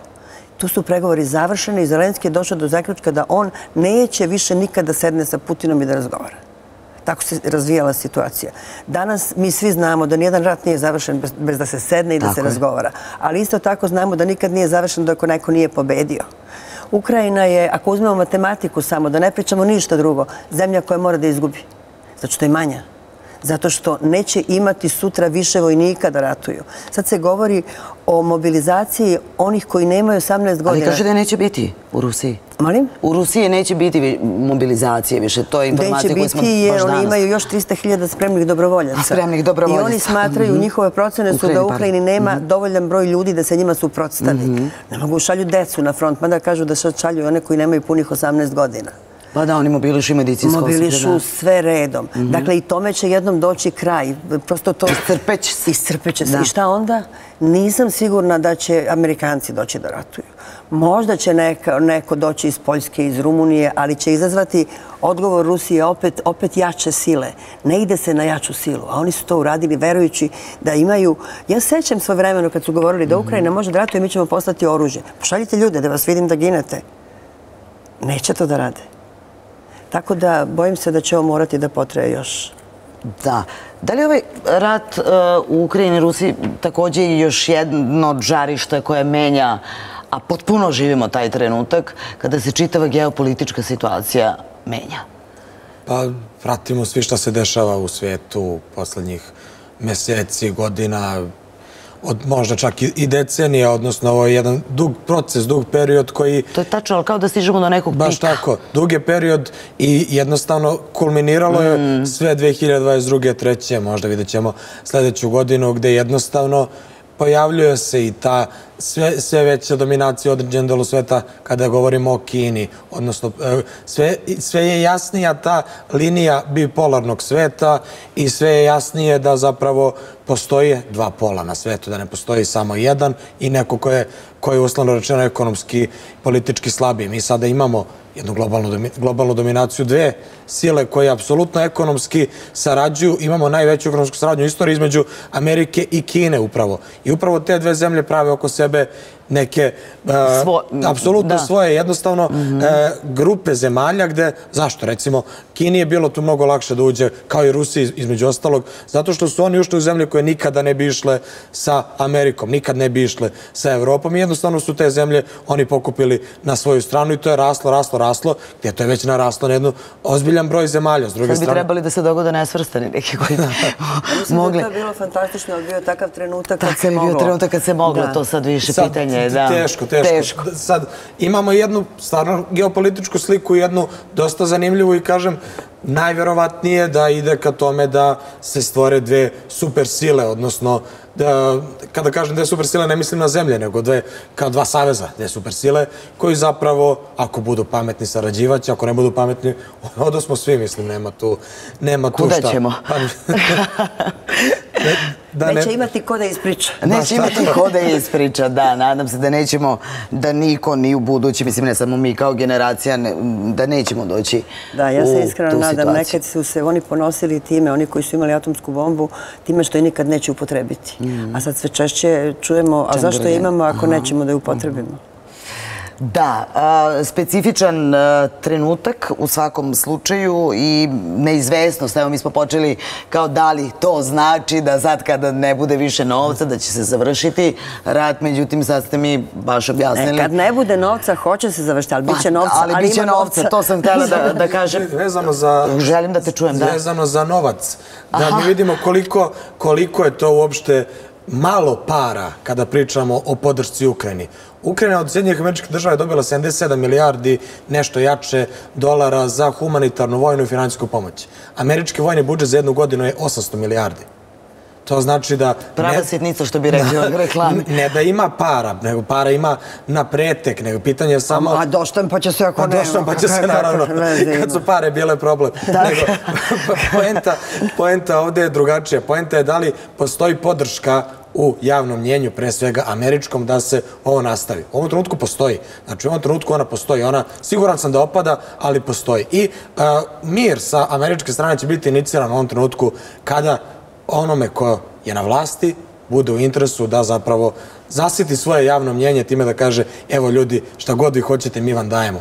I upravo mislim da, da u tome leži sve ovo i da zato nemamo te uslove za mir, da nemamo ništa od toga. Znači, da nije trenutak prosto. Pa nije, nije da. trenutak. Apsolutno je ovo što se tiče ciljeva, nisu ostvareni ratni ciljevi, niti sa jedne, niti sa druge strane. I mi nemamo da nekog ko će da agituje za taj mir kad nije zauzeo tu teritoriju koju želi, kad nije ostvario političke ciljeve koje želi, tako da nije stvarno trenutak za to. S druge strane imamo Ukrajinu koja ima dosta velike ambicije i koja koje nije u interesu da, da dođe do mira u ovom trenutku. Šta, šta ima Ukrajina da ponudi? Sad da sedne za sto i da kaže e, dobro, hajde mi da uzmemo, e, da, da sednemo za sto i šta ćemo mi da vama damo? Jedino da daju ove teritorije koje Rusija već pripojila. A pitanje je kako će završiti ta osoba koja je na čelu Ukrajine, a koja zapravo odcepi teritoriju za koju se oni bore. I tu mislim da dolazimo do jednog važnog trenutka, a to je javno mnjenje u Ukrajini, koje se sve više omekšava, odnosno mm -hmm. Pojavljuju se neke priče koje e, često mi čujemo, e, neke mirovne predloge, neke nove inicijative, pa šta, šta bi bilo kad bi, na primer, stigla, e, kad bi stigla ponuda da, ne znam, prestane rad da Ukrajina uđe u NATO, a da, da izgubimo ove teritorije, pa sad ljudi uh, pa šta kažu, odluge. Šta, šta, mislim, pa nisu, kakva... nisu za to, naravno, nisu, nisu ljudi za to, ali čim se priča o tome, čim se to mhm. plasira, ja verujem da, sam, da se, da ukrajinsko javno mnjenje upravo priprema za jedna scena, scenario koji nije konačna pobeda Ukrajine, kao što oni su do sada mislili, kao što su do sada apsolutno svi bili uvereni u to, čak i na svim anketama koje se rade u Ukrajini i dalje su ljudi uvereni u konačnu pobedu Ukrajine, međutim, plasira se mogućnost koja je recimo da se plasirala pre godinu dana, letele bi glave. Međutim, toga sada nema, to se sada priča sve glasnije i jednostavno treba o tome da se priča, pa čak iako iako možda oni nisu, nisu za to uh, politički, treba da, da imaju to kao opciju da ne budu sutra nespremni ako se to dogodi u njihovoj zemlji. Tako da verujem da će to sve biti glasnije. Ja pratim ukrajinske medije. Jednostavno, u ukrajinskim medijima uh, ne priča se o tome kao o predaj teritorije, već se priča o tome kao o uh, mirovnoj inicijativi iz mm -hmm. Vašingtona, mm -hmm. mirovnoj inicijativi iz ne znam koje, koje, iz ne znam koje sile i jednostavno, e, oni su predložili to, to i to. Čisto da uđe Već je, u uši, jeste. Da, da, malo se otvara da, da, da može da. da se ode i u tom pravcu. Ja bih samo malo ovo modifikovala. Aha, u principu i... se slažem, ali mislim da to ne zavisi više ništa od Ukrajine i od tog naroda koji tamo jadan bi ili skidao glave ili ne bi skidao glave. Kako se preparira javno mnjenje mogli smo da vidimo pre neki dan u Jermeniji. Mm. Da li je iko mogao da pomisli da ono što je pre 30 godina krvlju stečeno, u stvari nije stečeno, potvrđeno je. Jermeni su tu 2000 godina. Jer meni su bili jedino stanovništvo tu, vrlo malo je bilo Azerbejdžanaca. I sad? I sad, šta se desilo s Pašinjanom koji ih je bukvalno predao ovako na tacni? Za jedan dan su izašli i sa svoje teritorije.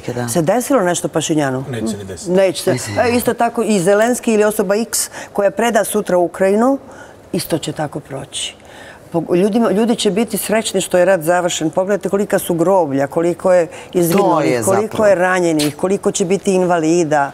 Tragedija je ogromna i naravno da, će prva, da je prva želja svih ljudi u Ukrajini. Da stane. Ne pričamo nama koji gledamo mm. na televiziji. Mi možemo da filozofiramo ovde kad će sutra će. Oni jedino žele da bude mir. Potpuno logično i time ćemo da zaključimo. Veliko vam hvala. Ja nekako uvek svoje goste zovem da bi bolje razumela ono što se dešava u da ovom trenutku. Jeste sigurno a, i meni i gledalcima što je krajnji cilj. Veliko hvala. Hvala vama.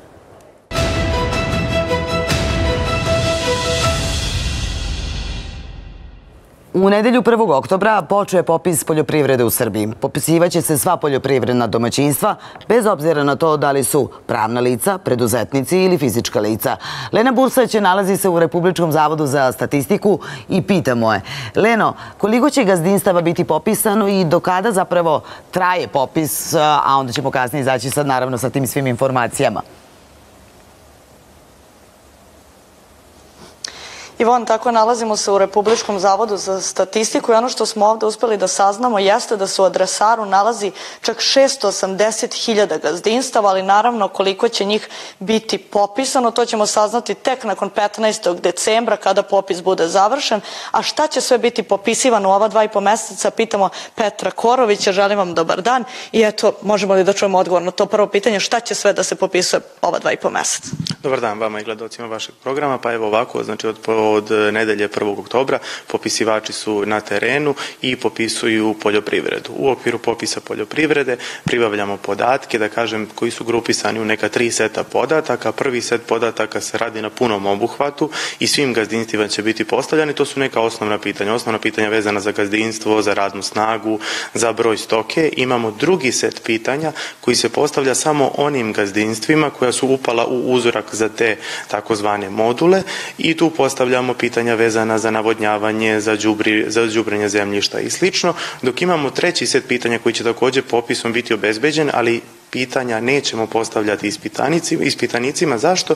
Zato što imamo kvalitetne i dobre evidencije, odnosno administrativne izvore i te podatke ćemo povući iz administrativnih izvora. Konkretno govorimo o primjenama mera ruralnog razvoja, organskoj proizvodnji i slično. Šta ukoliko neko ne želi da učestvuje u popisu, šta onda sledi? Pa evo ovako, prema zakonu o popisu poljoprivrede, popisivanje svih gazdinstava koja su se našla u adresaru je obavezno.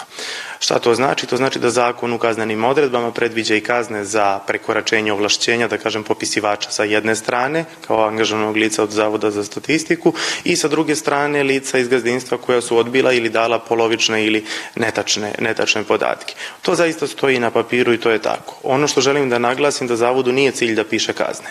Mi zaista želimo da popišemo kompletnu poljoprivredu kako bismo imali tačne, precizne, pouzdane podatke na bazi kojih bi sutra trebalo da nastanu i održive agrarne politike. Poređenja radi popis stanovništva smo završili pre godinu dana, ima nas gotovo 6,5 miliona stanovnika, verujte da je bilo svega par desetina kazni, to su zaista bila ona lica koja su kategorično i uporno u 5-6 navrata odbijali popisivanje. Podlačim, nije nam to cilj, ali stoji u zakonu i kao da kažem to je neka poslednja mera. I kada ćemo imati prve rezultate popisa?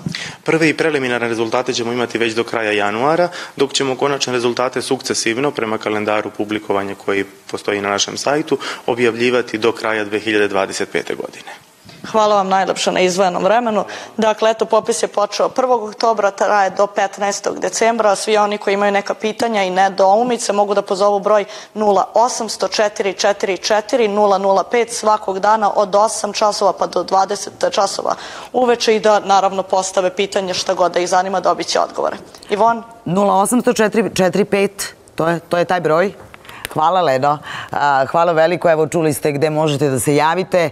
Tek treći put od drugog svetskog rata u Srbiji se sprovodi popis u poljoprivredi. U kakvom je stanju srpski agrar danas i koji su stvarno problemi srpskih poljoprivrednika i stočara? Danas razgovaramo sa vrlo pozvanim ljudima, sa Budimirom Dobrosavljevićem Bidžom, nekada poslanikom. Da, poslanikom, predsjednikom opštine Svilajnac i dugogodišnjem direktorom stočarske škole. Također Marija Rističević, da, a sa nama poljoprivrednik i predsjednik odbora za poljoprivredu, a sa nama na vezi, što znači kao da je i u studiju, Radovan Raka, također bivši poslanik, dobar dan, a danas poljoprivredni proizvod proizvođač iz Trstenika. Hvala vam, Rako, što ste tu sa nama. Evo, pozdrav i od kolega i drugara.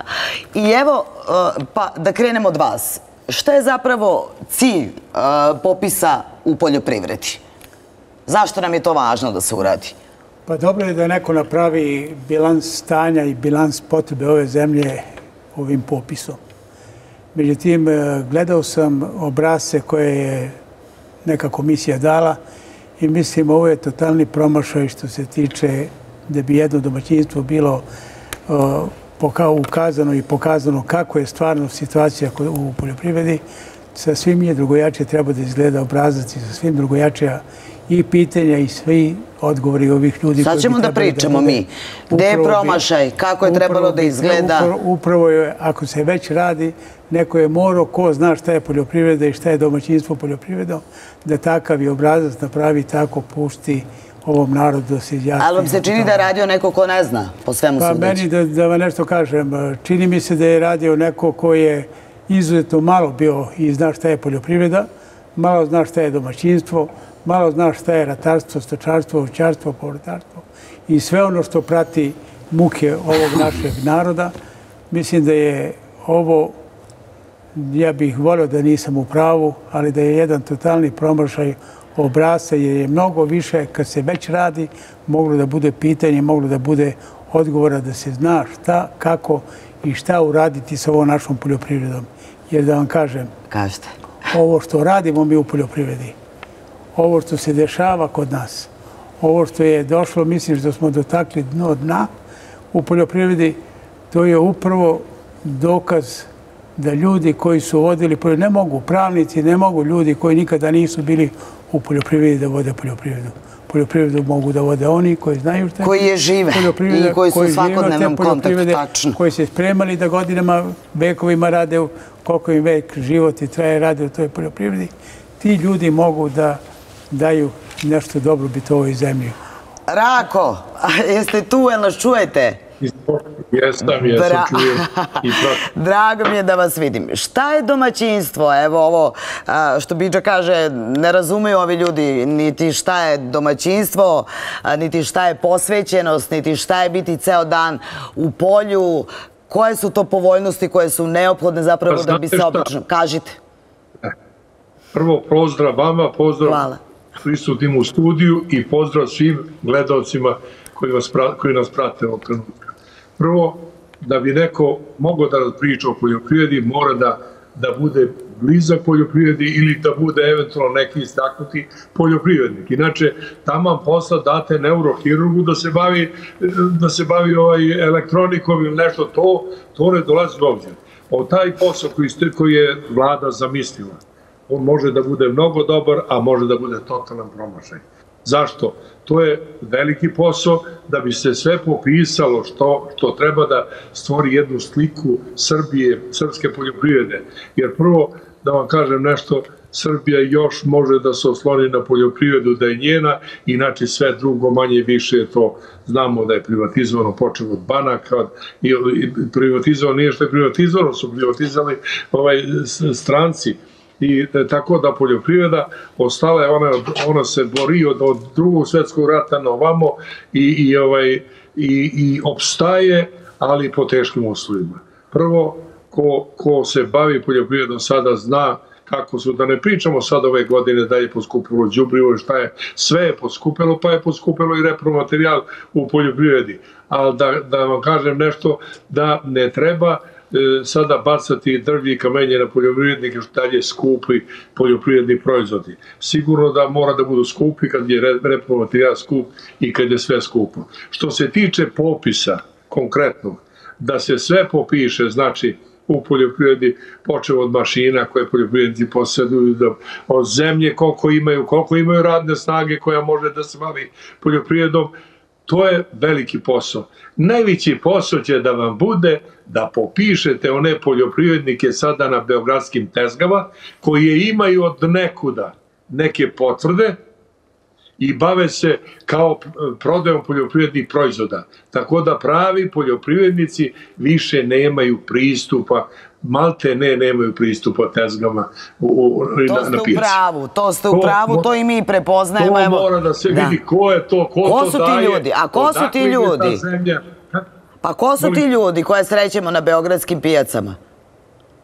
Pa ko su ti ljudi, ne znam ja ko su ljudi. Dobro, uglavnom su moji kolege penzioneri, inače i ima mnogo oni koji su došli sa strane u Srbiju, pobegli od rata, u redu, sve to, ali uglavnom oni su velika konkurencija poljoprivrednicima, pravim poljoprivrednicima, tako da ovi jednostavno i kad se kupuje tezga, tu se nadmeću, ovaj, seljaci gube tu bitku i da ne pričam dalje sad oko toga, to je veliki, velike je to tema i velike je to posao i priča.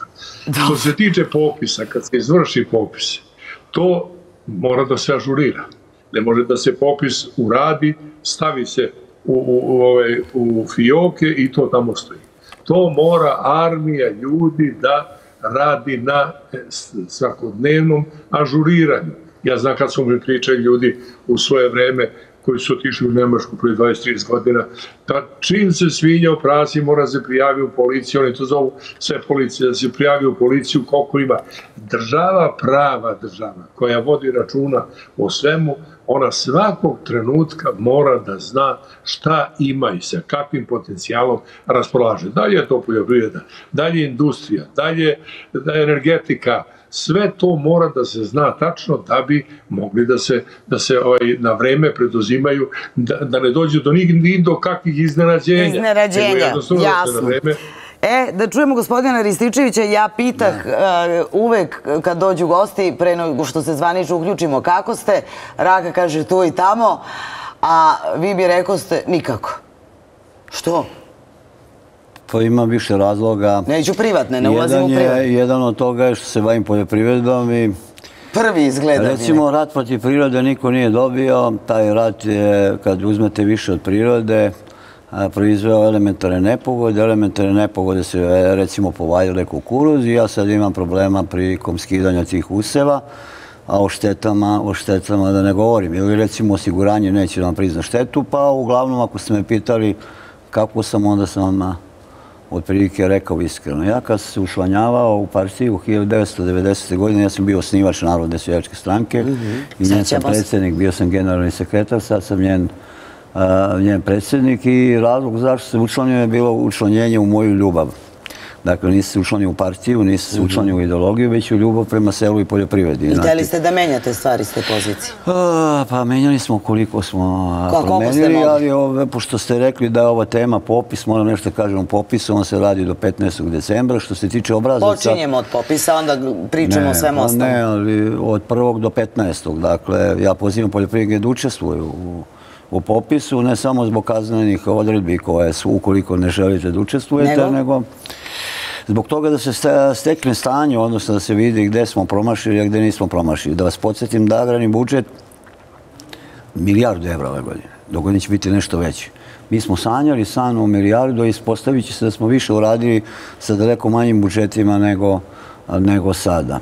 A, popisi su inače normalna stvar, dakle Svetska organizacija za hranu je propisala da se popisi vrše svaki 10 godina i obrazci su a, u skladu sa međunarodnim standardima, ne branim Zavod za statistiku, ali a, sam u obavezi na određen način to da kažem.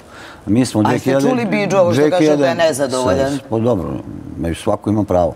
Pa ima da bude razloga, zadovoljan i verovatno. nezadovoljan. Pa nisam ja zadovoljan, ali to su naši utisci. Nego da kažem, 2012. je izvršen popis.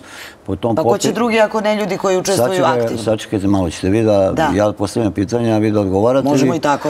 Pa ne, ali ako ste ja ne- nisam baš u temi ako ste već poljoprivrede, pozvali u emisiju, onda dozvolite da kažem. 2012. je bio posljednji popis Dobro. po istim standardima, Dobro. dakle, bitno je ustanoviti razliku, dakle, da bi se moglo vidjeti gde smo grešili, gde nismo grešili, potrebne su neki podaci i informacije. Mi smo 2012. imali 3 milijuna i 800 hiljada hektara zemlje, imali smo 631 hiljadu gazdinstava, od toga smo 2,5 hiljade imali pravnih lica, ostalo su bila fizička lica, prosječni posjed je bio 5,4 hektara, broj grla, broj goveda je bio 900 hiljada, broj svinja je bio 3,5 miliona, broj ovaca je bio milijon i 700 hiljada, broj koza 2,300, broj košnica pčela bilo 665 hiljada i recimo imali smo 408 hiljada traktora i a, oko 27 miliona živine. Dakle, sada na ovom popisu treba da ustanovimo a, kako se kreće pro- prosječan posjed, kako je posebno stanje u stočarstvu. Ono što mene zanima su mala poljoprivredna gazdinstva i srednja i njima sam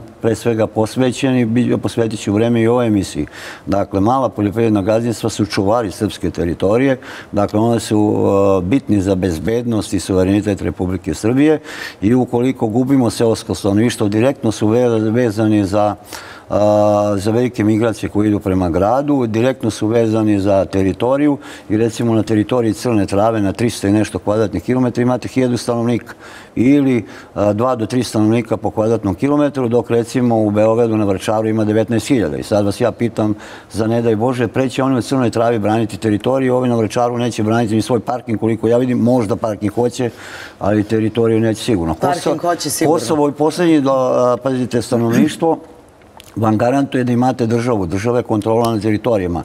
I vi ako ispraznite na selu stanovništvo, vi ćete onda, vi ćete onda e, isprazniti teritorije i sasvim je izvesno da će to naseliti migranti i neki drugi narodi, s obzirom da su teritorije, ako teritorije ostanu prazne.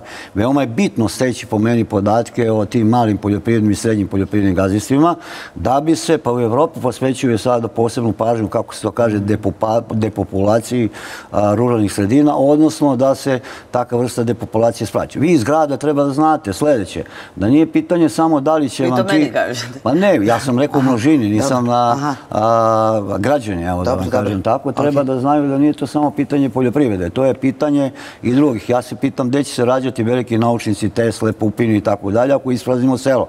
Gde će se rađati veliki sportisti? I još da vas pitam, gde će se rađati ljudi koji će vam odčepiti a, sudoperu, a, srediti vodu, Otišli. električari, Otišli a, ko će održavati putevi i tako dalje, jer je činjenica da to radi prigradsko i seosko stanovništvo.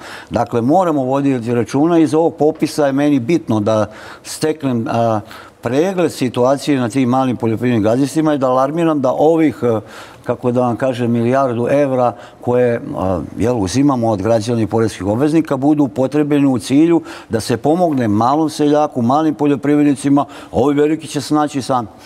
Slažem se ja sa vama sve što ste E, zato je popis po meni, koliko će on biti precizan, ostaje da se vidi, ali vidit ćemo razliku. Recimo, vi u ovom trenutku imate 631.000 gazdinstava, to je zvanično iz 2012. A imate registrovanih 350.000. Ajde da se pitamo gde su ostali, da li postoje, da li su, nisu registrovani. Možda bi ja imao zamerke na obrazce, ali moramo na neki način da steknemo neki, neki uvid. Uvid.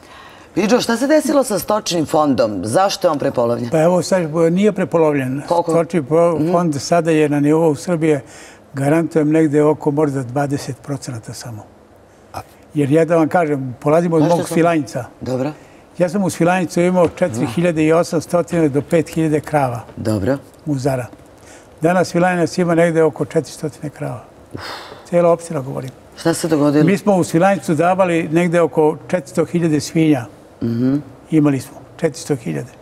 Danas nismo za Uskrs Božić mogli da kupimo prase. E, danas je 17 prasića se rodilo. Bila je vest, ta informacija. Ne znam tačno koja je, ima ovdje kod nas u Srbiji. Da li znate da je uginulo 72.000 ili je eutanazirano? E. Da, sada kada se to dešavalo, da, Afrika, kako nisam zabrinut. Pitate me kako sam, ja sam zabrinut. Gubitak od 72.000, u posljednje dve godine izgubili smo blizu 100.000 komada. Od toga su najmanje 5 do 6.000 krmača. Znate, imali smo mi izuzetno dobre ljude koji su znali u toj veterini šta treba da se radi. Ali je nekom smetalo i odmah se to, onaj koji je uvodio red, odmah je to morao da bude sklonjen. Nama je najveća greška što mi nismo ljude, mi smo pravili nešto po selima, ovo što kažete, mi smo milijardu izdvojili. Država, ovaj društvo, ovaj seljak i radnik i od milijardu izdvojili za poljoprivredu. A imamo negde sigurno neću da budem baš onako rigorozno, ali 60% govorimo o centralnoj Srbiji, imamo zemlje neobrađeno, neporanih, njive nezasejeni, ili ako su zasejene koje su u korovu, veći je korov nego što je to. Da li je neko to gledao? Da li je neko znao kako organizuje zadruge, ovo što govoriš? Da, ja gledam. Treba je da bude neko, neko ko je znao šta je zadruga. Kada sam ja govorio svoje vremeno, govorimo o nekoj 2002. i 2005. godini kad je došla neka demokratija da rukovodi ovom zemljom. Zadruge su postojere svuda. E, to je, ne, to je ruski kolhozi, to zadruge ne treba gasi zadruge. Međutim, zadruge su postoje svuda. Da li su poslovno udruženja? Da li su udruženje stočara? Da li je udruženje ratara? Da li je udruženje vočara? Kako ih zovu? To je druga stvar. Ali da je neko znao kada smo ovo sad počeli od 912. godine, kada smo mi došli na vlast, da organizuje tog seljaka, da organizuje tog, tu poljoprivredu, da te zadruge koje je pravio, mi smo pravili zadruge po selima. Seljak imam, ja hoću zadrugu i upisao se zadruga moje domaćinstvo. Umesto da smo u tom selu, neka bude svaki seljak zadrugara, ali da smo uzeli jednog stručnjaka, jednog agronoma, jednog veterinara, jednog poljoprivrednog tehničara, da te ljude napravi simbiozu, da za te ljude radi, da te ljude usmerava šta kako, da ima kontakt sa opštinom, odnosno sa ministarstvom i da se zna svaki dinar gde se uloži i šta se od tog dinara dobije. Kada bi sad neko imao i kada bi proverio koliko su ti zadrugari dobili para, koliko je efekat od tih para koje je država uložila od, kod njih, to je bruka jedna, a neću da govorimo o ovim malim, sitnim, koji vi niste do juče imali seljaku koji je imao par krava, niste mu davali za mleko, nije mogo premiju da dobije. Niste davali ovo, nije bilo ono. To je sve, a gro svega toga što se činjavalo u selu, to su upravo ti ljudi koji su imali od 3 do 10 krava, 5 krava. Sada toga nema uopšte. Rako? Ovako, sad... da, da, samo da, da, hoćete, da hoće, moramo. Hoće li moramo i Rako da uključimo? O, Evo, pa znam tačno na što želite da odgovorite. Rako, kako vi vidite ovu ja. situaciju i da li možemo da kažemo da je na neki način desetkovana poljoprivreda ili se ne slažete sa tim ja stavom i zaključkom? Naporno pomoravlju, to je naj... Tamo se radila nekada najkvalitetnija poljoprivreda što se tiče tih manjih domaćinstava. I da vam kažem da sam ja nekad u svojoj staji imao 12 krava, a sada u počekovanju od 246 domaćinstava, kada da ja nisam brojio, a kažu da samo jedna krava. To je strašno, to treba ozbiljno neko da se zamisli, jer to je kad, nekad u svoje vreme kad sam ja bio direktor ovde jedne organizacije kooperanata, mi smo imali, zvali smo to sajmovi kad su ljudi donosili i prodavali telad, ta telad je išla u tog, ta, e, to posle kad su bili 300-400 kg, to je, ovaj, to je bio veliki potencijal mesa. Od čega ćemo mi sada da stvorimo i kaže da pravimo veštačko meso, pa može da ga, mora da ga pravimo čim nismo, nismo gajili krave, nismo gajili svinje, sve smo to zatrli, sve to nije, ne isplati se, sve, se to, sve to ima preko granice jeftinije, dok smo to sve naše pogasili, pogasili smo banke, sve smo, neko mora, što kaže Bidža i što kaže gospodin Rističević, neko mora sedne, da sedne i da ozbiljno, oni se de, nema problema, nego da ozbiljno razmisli oko poljoprivrede. Evo, na primjer, ja konkretno, bio sam i poslanik i, i predsednik opštine, sve mene, od kako sam, to je negde 2000 osme godine i od tada me niko ni za nije pitao da, da i oko političke situacije, oko uređenja opštine, bilo kakav posao, svi su pametni, dođu, svi su pametni, kao da su porasli, rođeni, naučeni. Prema tome, to ja da se tamo guram neću, baš me briga, ali kažem da neke stvari mora da se iz korena menjaju.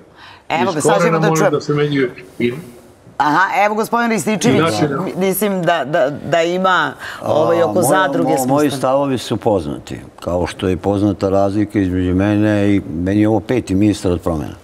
Dakle, poznate su razlike poljoprivrednicima, razlike između mene i izvršnih vlasti.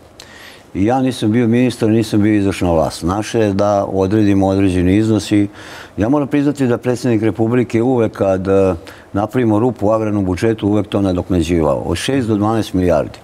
Mi smo sada došli negde, ukupno je agrarni budžet negde oko milijardu evra s tim što dajemo i neke druge podrške, kukuruz iz robnih rezervi, kupujemo kukuruz i pšenicu po višoj ceni i tako dalje, ali ne pomaže.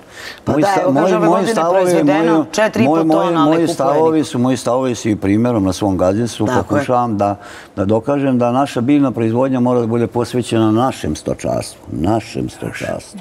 A šta to Našoj prerađivačkoj industriji, naše stočarstvo, proizvodnju mesa, mleka, jaja nosi prerađivačku industriju. Dakle, tu se stiče dohodak umjesto 1500 evra na 5000 evra vam raste dohodak po hektaru. I obno, proizvodnju obnovljive energije, to neka nova oblast koju mi stariji nismo imali priliku u svoj, da stočari dobiju pravo na obnovljivu energiju, proizvodnju zelene energije od biomase i od organskog đubriva. Mhm. Mi se na ovakav način kockamo sa sudbinom budućih generacija. Nedostatak stočarstva, vi možete da uvezete meso, vi to govorim, ne govorim lično vama, ali ne možete uvezete recimo organsko đubrivo, a nedostatak organskih đubriva definitivno degradira poljoprivredne zemljišta i sprečava čak i navodnjavanje.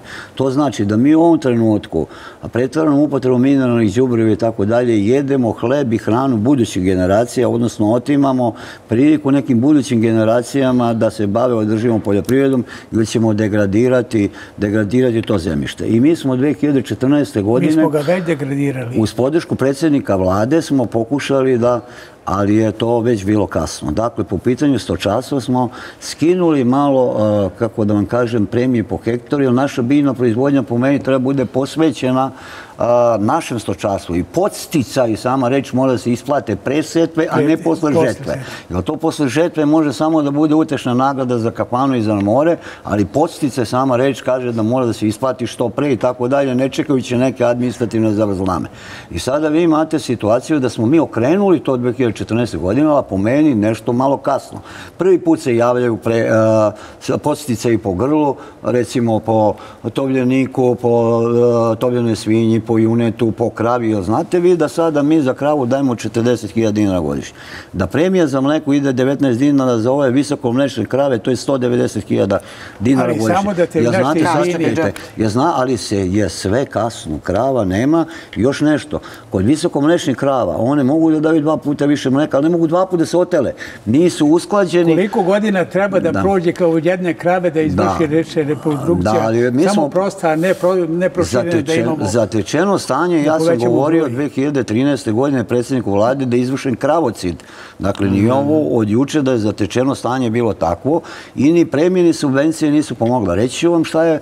šta ćemo da radimo? Reći ću vam šta je druga oblast. Recimo ove društvene mreže, industrijske zone koje smo otvorili, pa ja u Inđiji, dovodi do prestanka bavljanja stočarstvom. Jer, pazite, oni žena se zaposle, imaju vikend, imaju godišnji odmor, prodaju krave, zemljište daju u zakup i imamo ratarsku proizvodnju koju subvencionišemo, koja biljna proizvodnja služi za stočarstvo u stranim zemljama, dakle mi uvozimo meso često i sumnjivog, sumnjivog, Upravo danas sumnjivog kvaliteta. I vi imate priču o mravu i o cvrčku.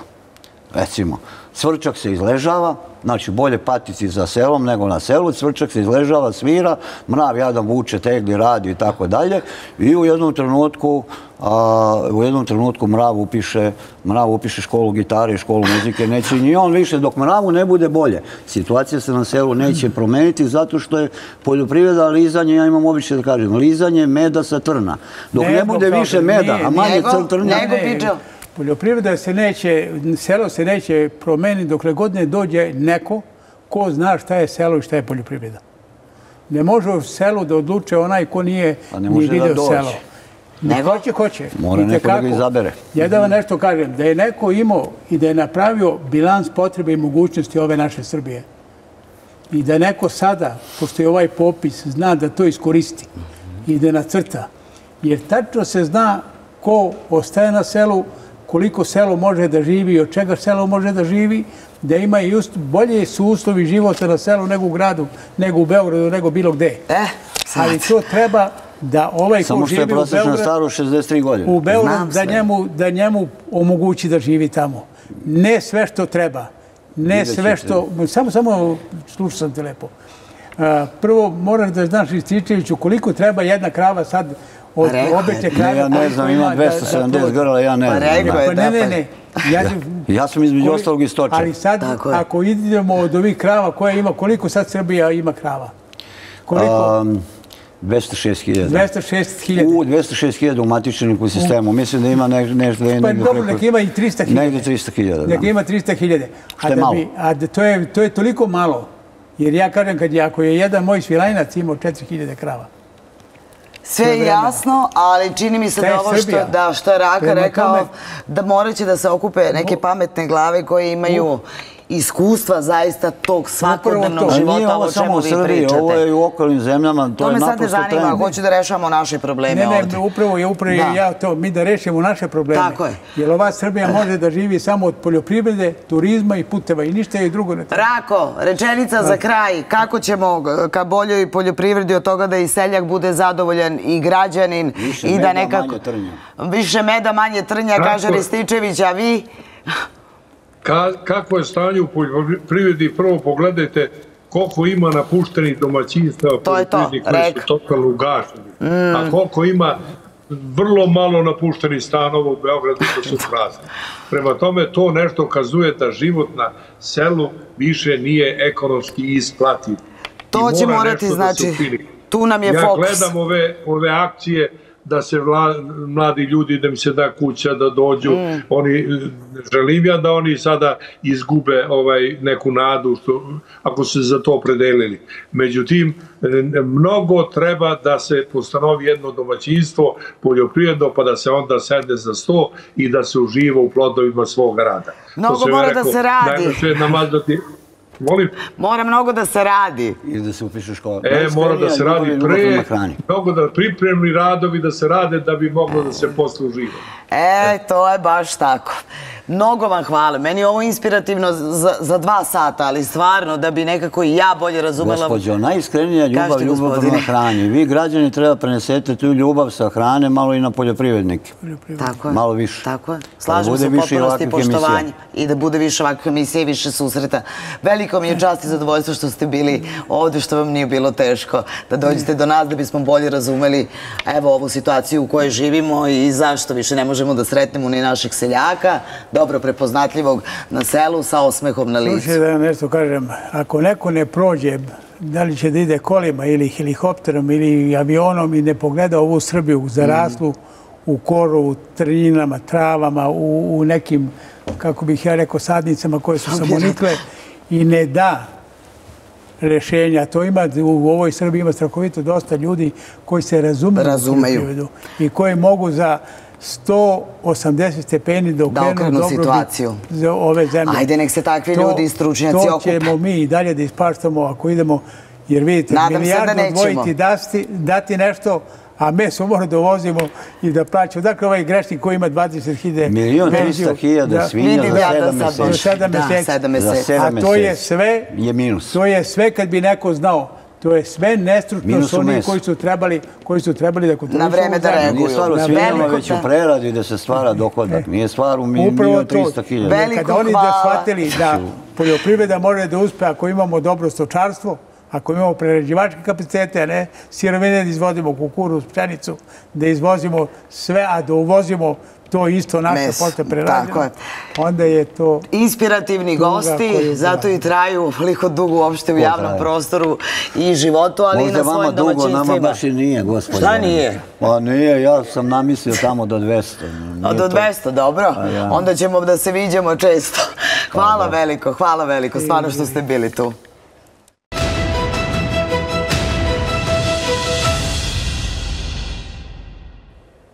Svi oni koji u Hrvatskoj budu napuštali svoje kućne ljubimce mogli bi da završe iza rešetaka.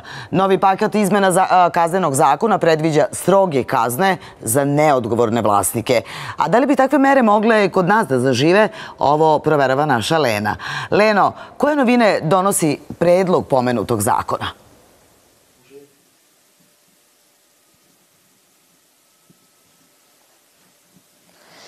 Ivon, predlog izmena kaznenog zakona koji bi mogao da stupi na snagu u Hrvatskoj predviđa poštravanje svih ovih e, kazni kada govorimo i o napuštanju, a i o mučenju životinja. Pre svega oni koji napuste svoje životinje sada će moći da završe iza rešetaka i to na čak godinu dana. Oni koji budu zlostavljali, mučili ili ubijali životinje moći će u zatvoru da provedu i do dve godine. Mi zato danas razgovaramo sa advokatom Milicom Mitrović. Želim vam dobar dan i može eto naše prvo pitanje da bude kako bi oni ukoliko ovaj zakon stupi na snagu njega sprovodili, kako bi utvrđivali da su životinje zaista napuštene? Pa smatram da je da Hrvatska ima slično rešenje kao i Republika Srbija, dakle svaka vlasnička životinja mora da ima čip, dakle u tom čipu nalaze se podaci o tome ko je vlasnik te životinje u tom smislu. Smatram da samim očitavanjem čipa bi se i došlo do podatka o tome ko je vlasnik životinje koja je nađena na ulici. Kakav je zakon na snazi kod nas i da li postoji mogućnost da nekada i u Srbiji ovakav zakon stupi na snagu? Kod nas je zakon što se tiče napuštanja životinja nešto blaži, predviđene su novčane kazne.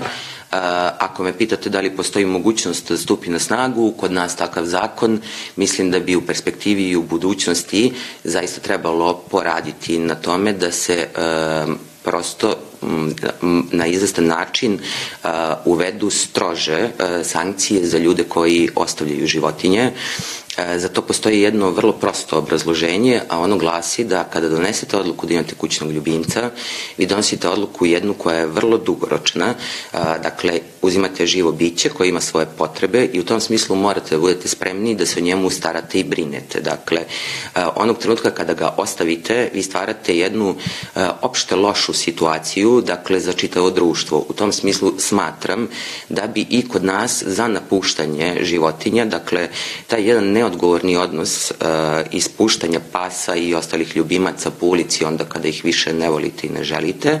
Dakle, za takve stvari smatram da zaista treba da budu uvedene strožije kazne. Kakav je zakon kod nas kada govorimo o mučenju, ubijanju životinja, pa čak i o napuštanju, da li postoje neke mere za one koji to urade?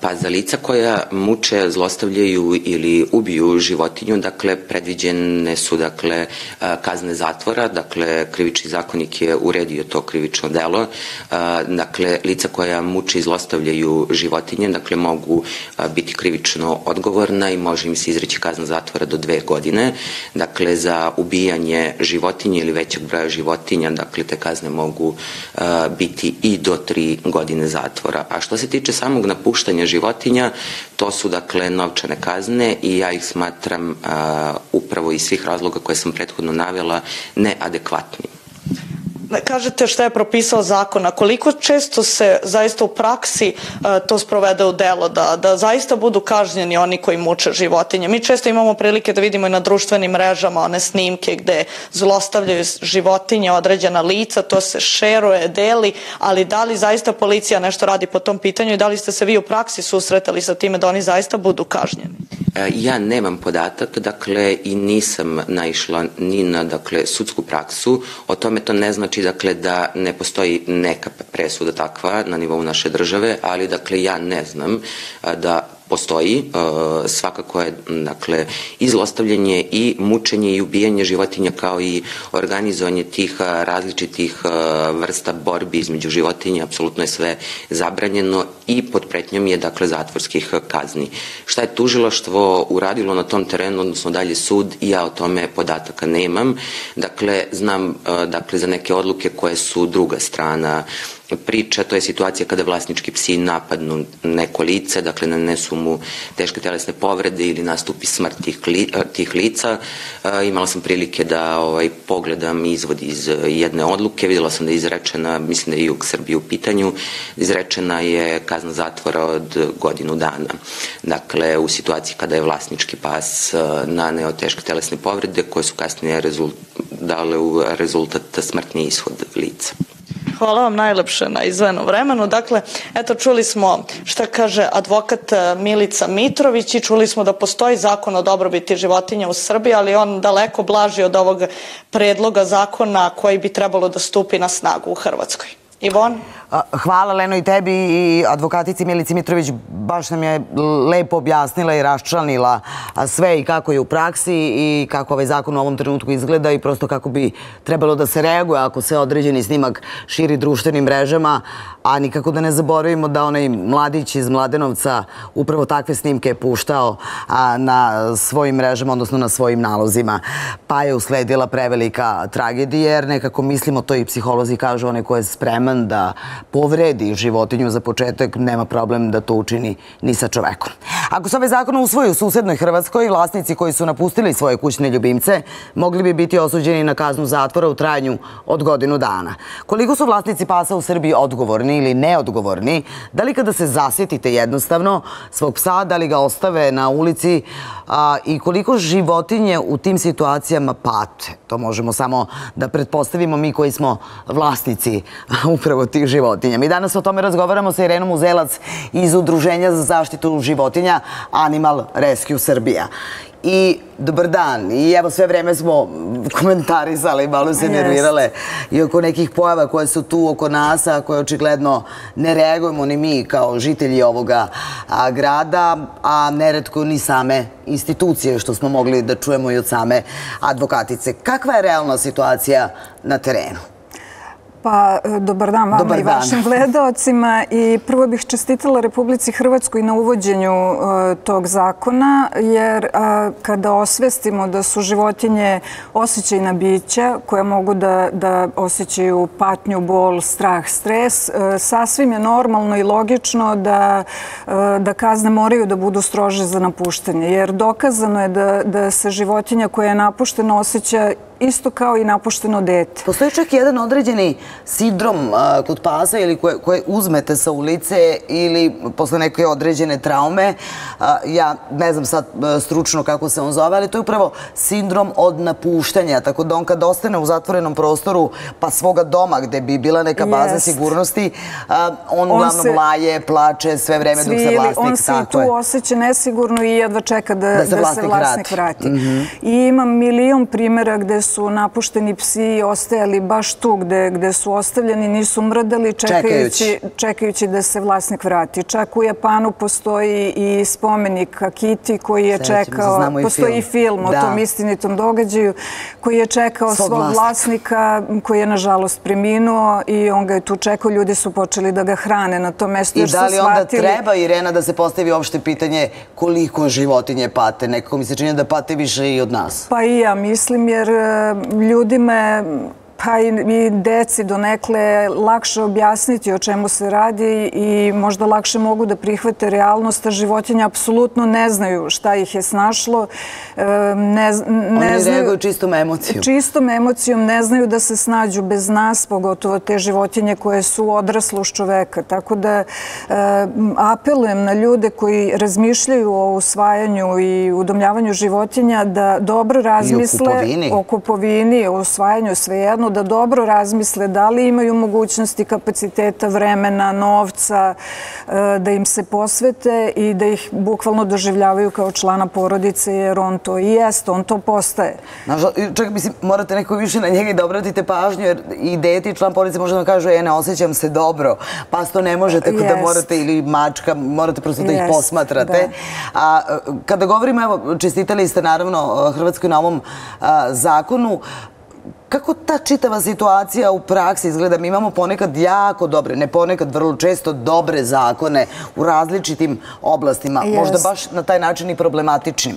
Međutim, kada govorimo o samoj realizaciji i dinamici sprovođenja, to u praksi, odnosno u svakodnevnom životu nije isto. Da. A čak često ni približno. Jeste. Čula sam za, za mnoge zakone, za zakon o osobama sa invaliditetom, za zakon o dobrobiti životinja i tako dalje, da su jako dobri, da su mm, neki i bolji od evropskih zakona, ali je problem u primjeni, problem je u kažnjavanju, Problem je u inspekciji koja verovatno, ja ne znam da li ih nema dovoljno ili o čemu se radi, ali ne rade... Pa, uvek ćemo čuti taj odgovor. Da, ne, ne rade svoj posao. Znači, e, većina ljudi pominje situaciju sa vezivanjem pojaseva. Znači, kada je uvedena kazna za nevezan pojas, e, mi smo se vrlo brzo navikli i ja mislim da ta navika i dalje postoji. da se, Jeste, postoji i dalje ta navika čim sednete u automobil i vežete pojas.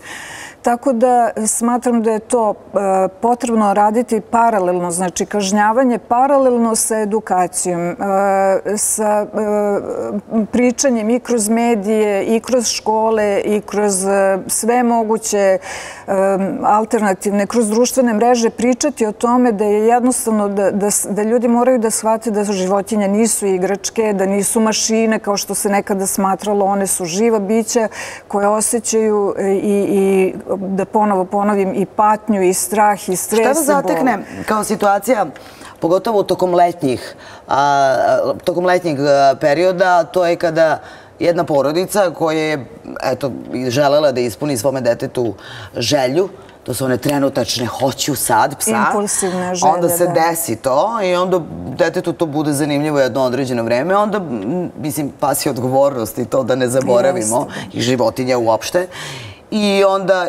će, ćete ih najčešće naći po nekim obodima a, Beograda, onda tu stupa na snagu Animal Rescue Team. A, pretpostavljam i da je tad mnogo veći broj napuštenih životinja. Pa nas da li je to vaše iskustvo? Ne znam, možda grešim. Nas ljudi svakodnevno zovu većinom, mogu da kažem većinom u nekih 80% slučajeva stranci koji prelaze, prolaze tim autoputevima, pored granica, staju na pumpama i tako dalje. Pa zovu nas, zovu nas da su videli napuštenu životinju koja je u najčešćem broju slučajeva uvek izuzetno mršava, plašljiva i tako dalje. Ali da znači- prepoznaju da je vlasnički pas. Jeste, znači e, e, pored toga što napuštaju životinje, oni prave još jedan veliki, veliki problem i veliki veliku krivicu što je napuštaju negde van e, mogućnosti da ona se snađe. Da e, e, ako već moraju da idu na odmor i ako već ili ne znam iz, zbog bolesti ili zbog bilo kog razloga moraju da napuste životinju, onda treba da joj obezbede adekvatan smeštaj. Adekvatan smeštaj, pansion, nekoga nekoga ko će brinuti dalje o njoj. A jedino hoću da vas pitam, je ovo što ste sad rekli pojas, pa kad smo shvatili kolika je kazna i to, jel kada bi plaćali porez uh, na životinju koju imamo, da li bismo onda prosto uvijek je kod nas ono kao novac i onda kada prosto znaš da imaš tu obavezu, onda možda i ozbiljnije pristupiš odluci da li ćeš uzeti psa ili ne. Pa mi se ne slažemo sa uvođenjem poreza mhm. na životinje jer bi onda i u ovako teškoj ekonomskoj situaciji ljude još više opteretili e, dodatnim nekim, nekim ovi troškovima i možda bi bilo još više napuštenih pasa.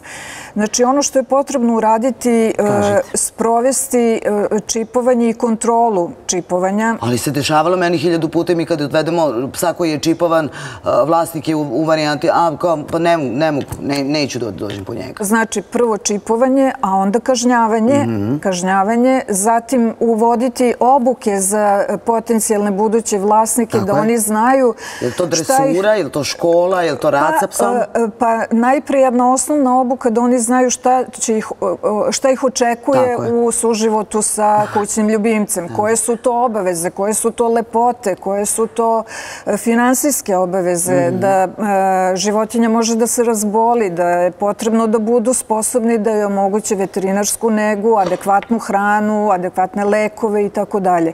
Znači, nije to samo e, impulsivna reakcija, svidela mi se životinja, uzet ću je, malo ću se poigrati, pa, pa posle vidjet ćemo šta će biti. A kako vam se čini? Je li ovaj zakon postoji mogućnost da, da se nekako prepiše i da zaživi kod nas? Pa mi bismo, mi bismo to podržali, e, zato što e, koliko znam trenutno je, mislim nisam pravnik, ali koliko mhm. znam trenutno je napuštanje pasa prekršajni ovaj, prekršaj, a ako bi se uvela krivica, mislim da bi onda bilo mnogo zbiljnije shvaćeno to sve. Nadamo se da je tako. Da. veliko vam hvala i nadamo se da će se dogoditi to u budućnosti. Želimo vam puno uspeha, a, a opet nekako i malo posla, ali da kada krenete u akciju spašavanja životinja uopšte po Beogradu, da bude uspešno, a da bude što manji broj poziva. Hvala vam puno. Samo jedan sekund da iskoristim, sekund, da. da iskoristim priliku da pozovem ljude. Sutra nam kreće jedna akcija, akcija? E, kampanja i da prate naše društvene mreže i sajt, jer je ta kampanja vrlo bitna i za životinje i za ljudi. Aj, baš me zanima o čemu se radi. Hvala veliko.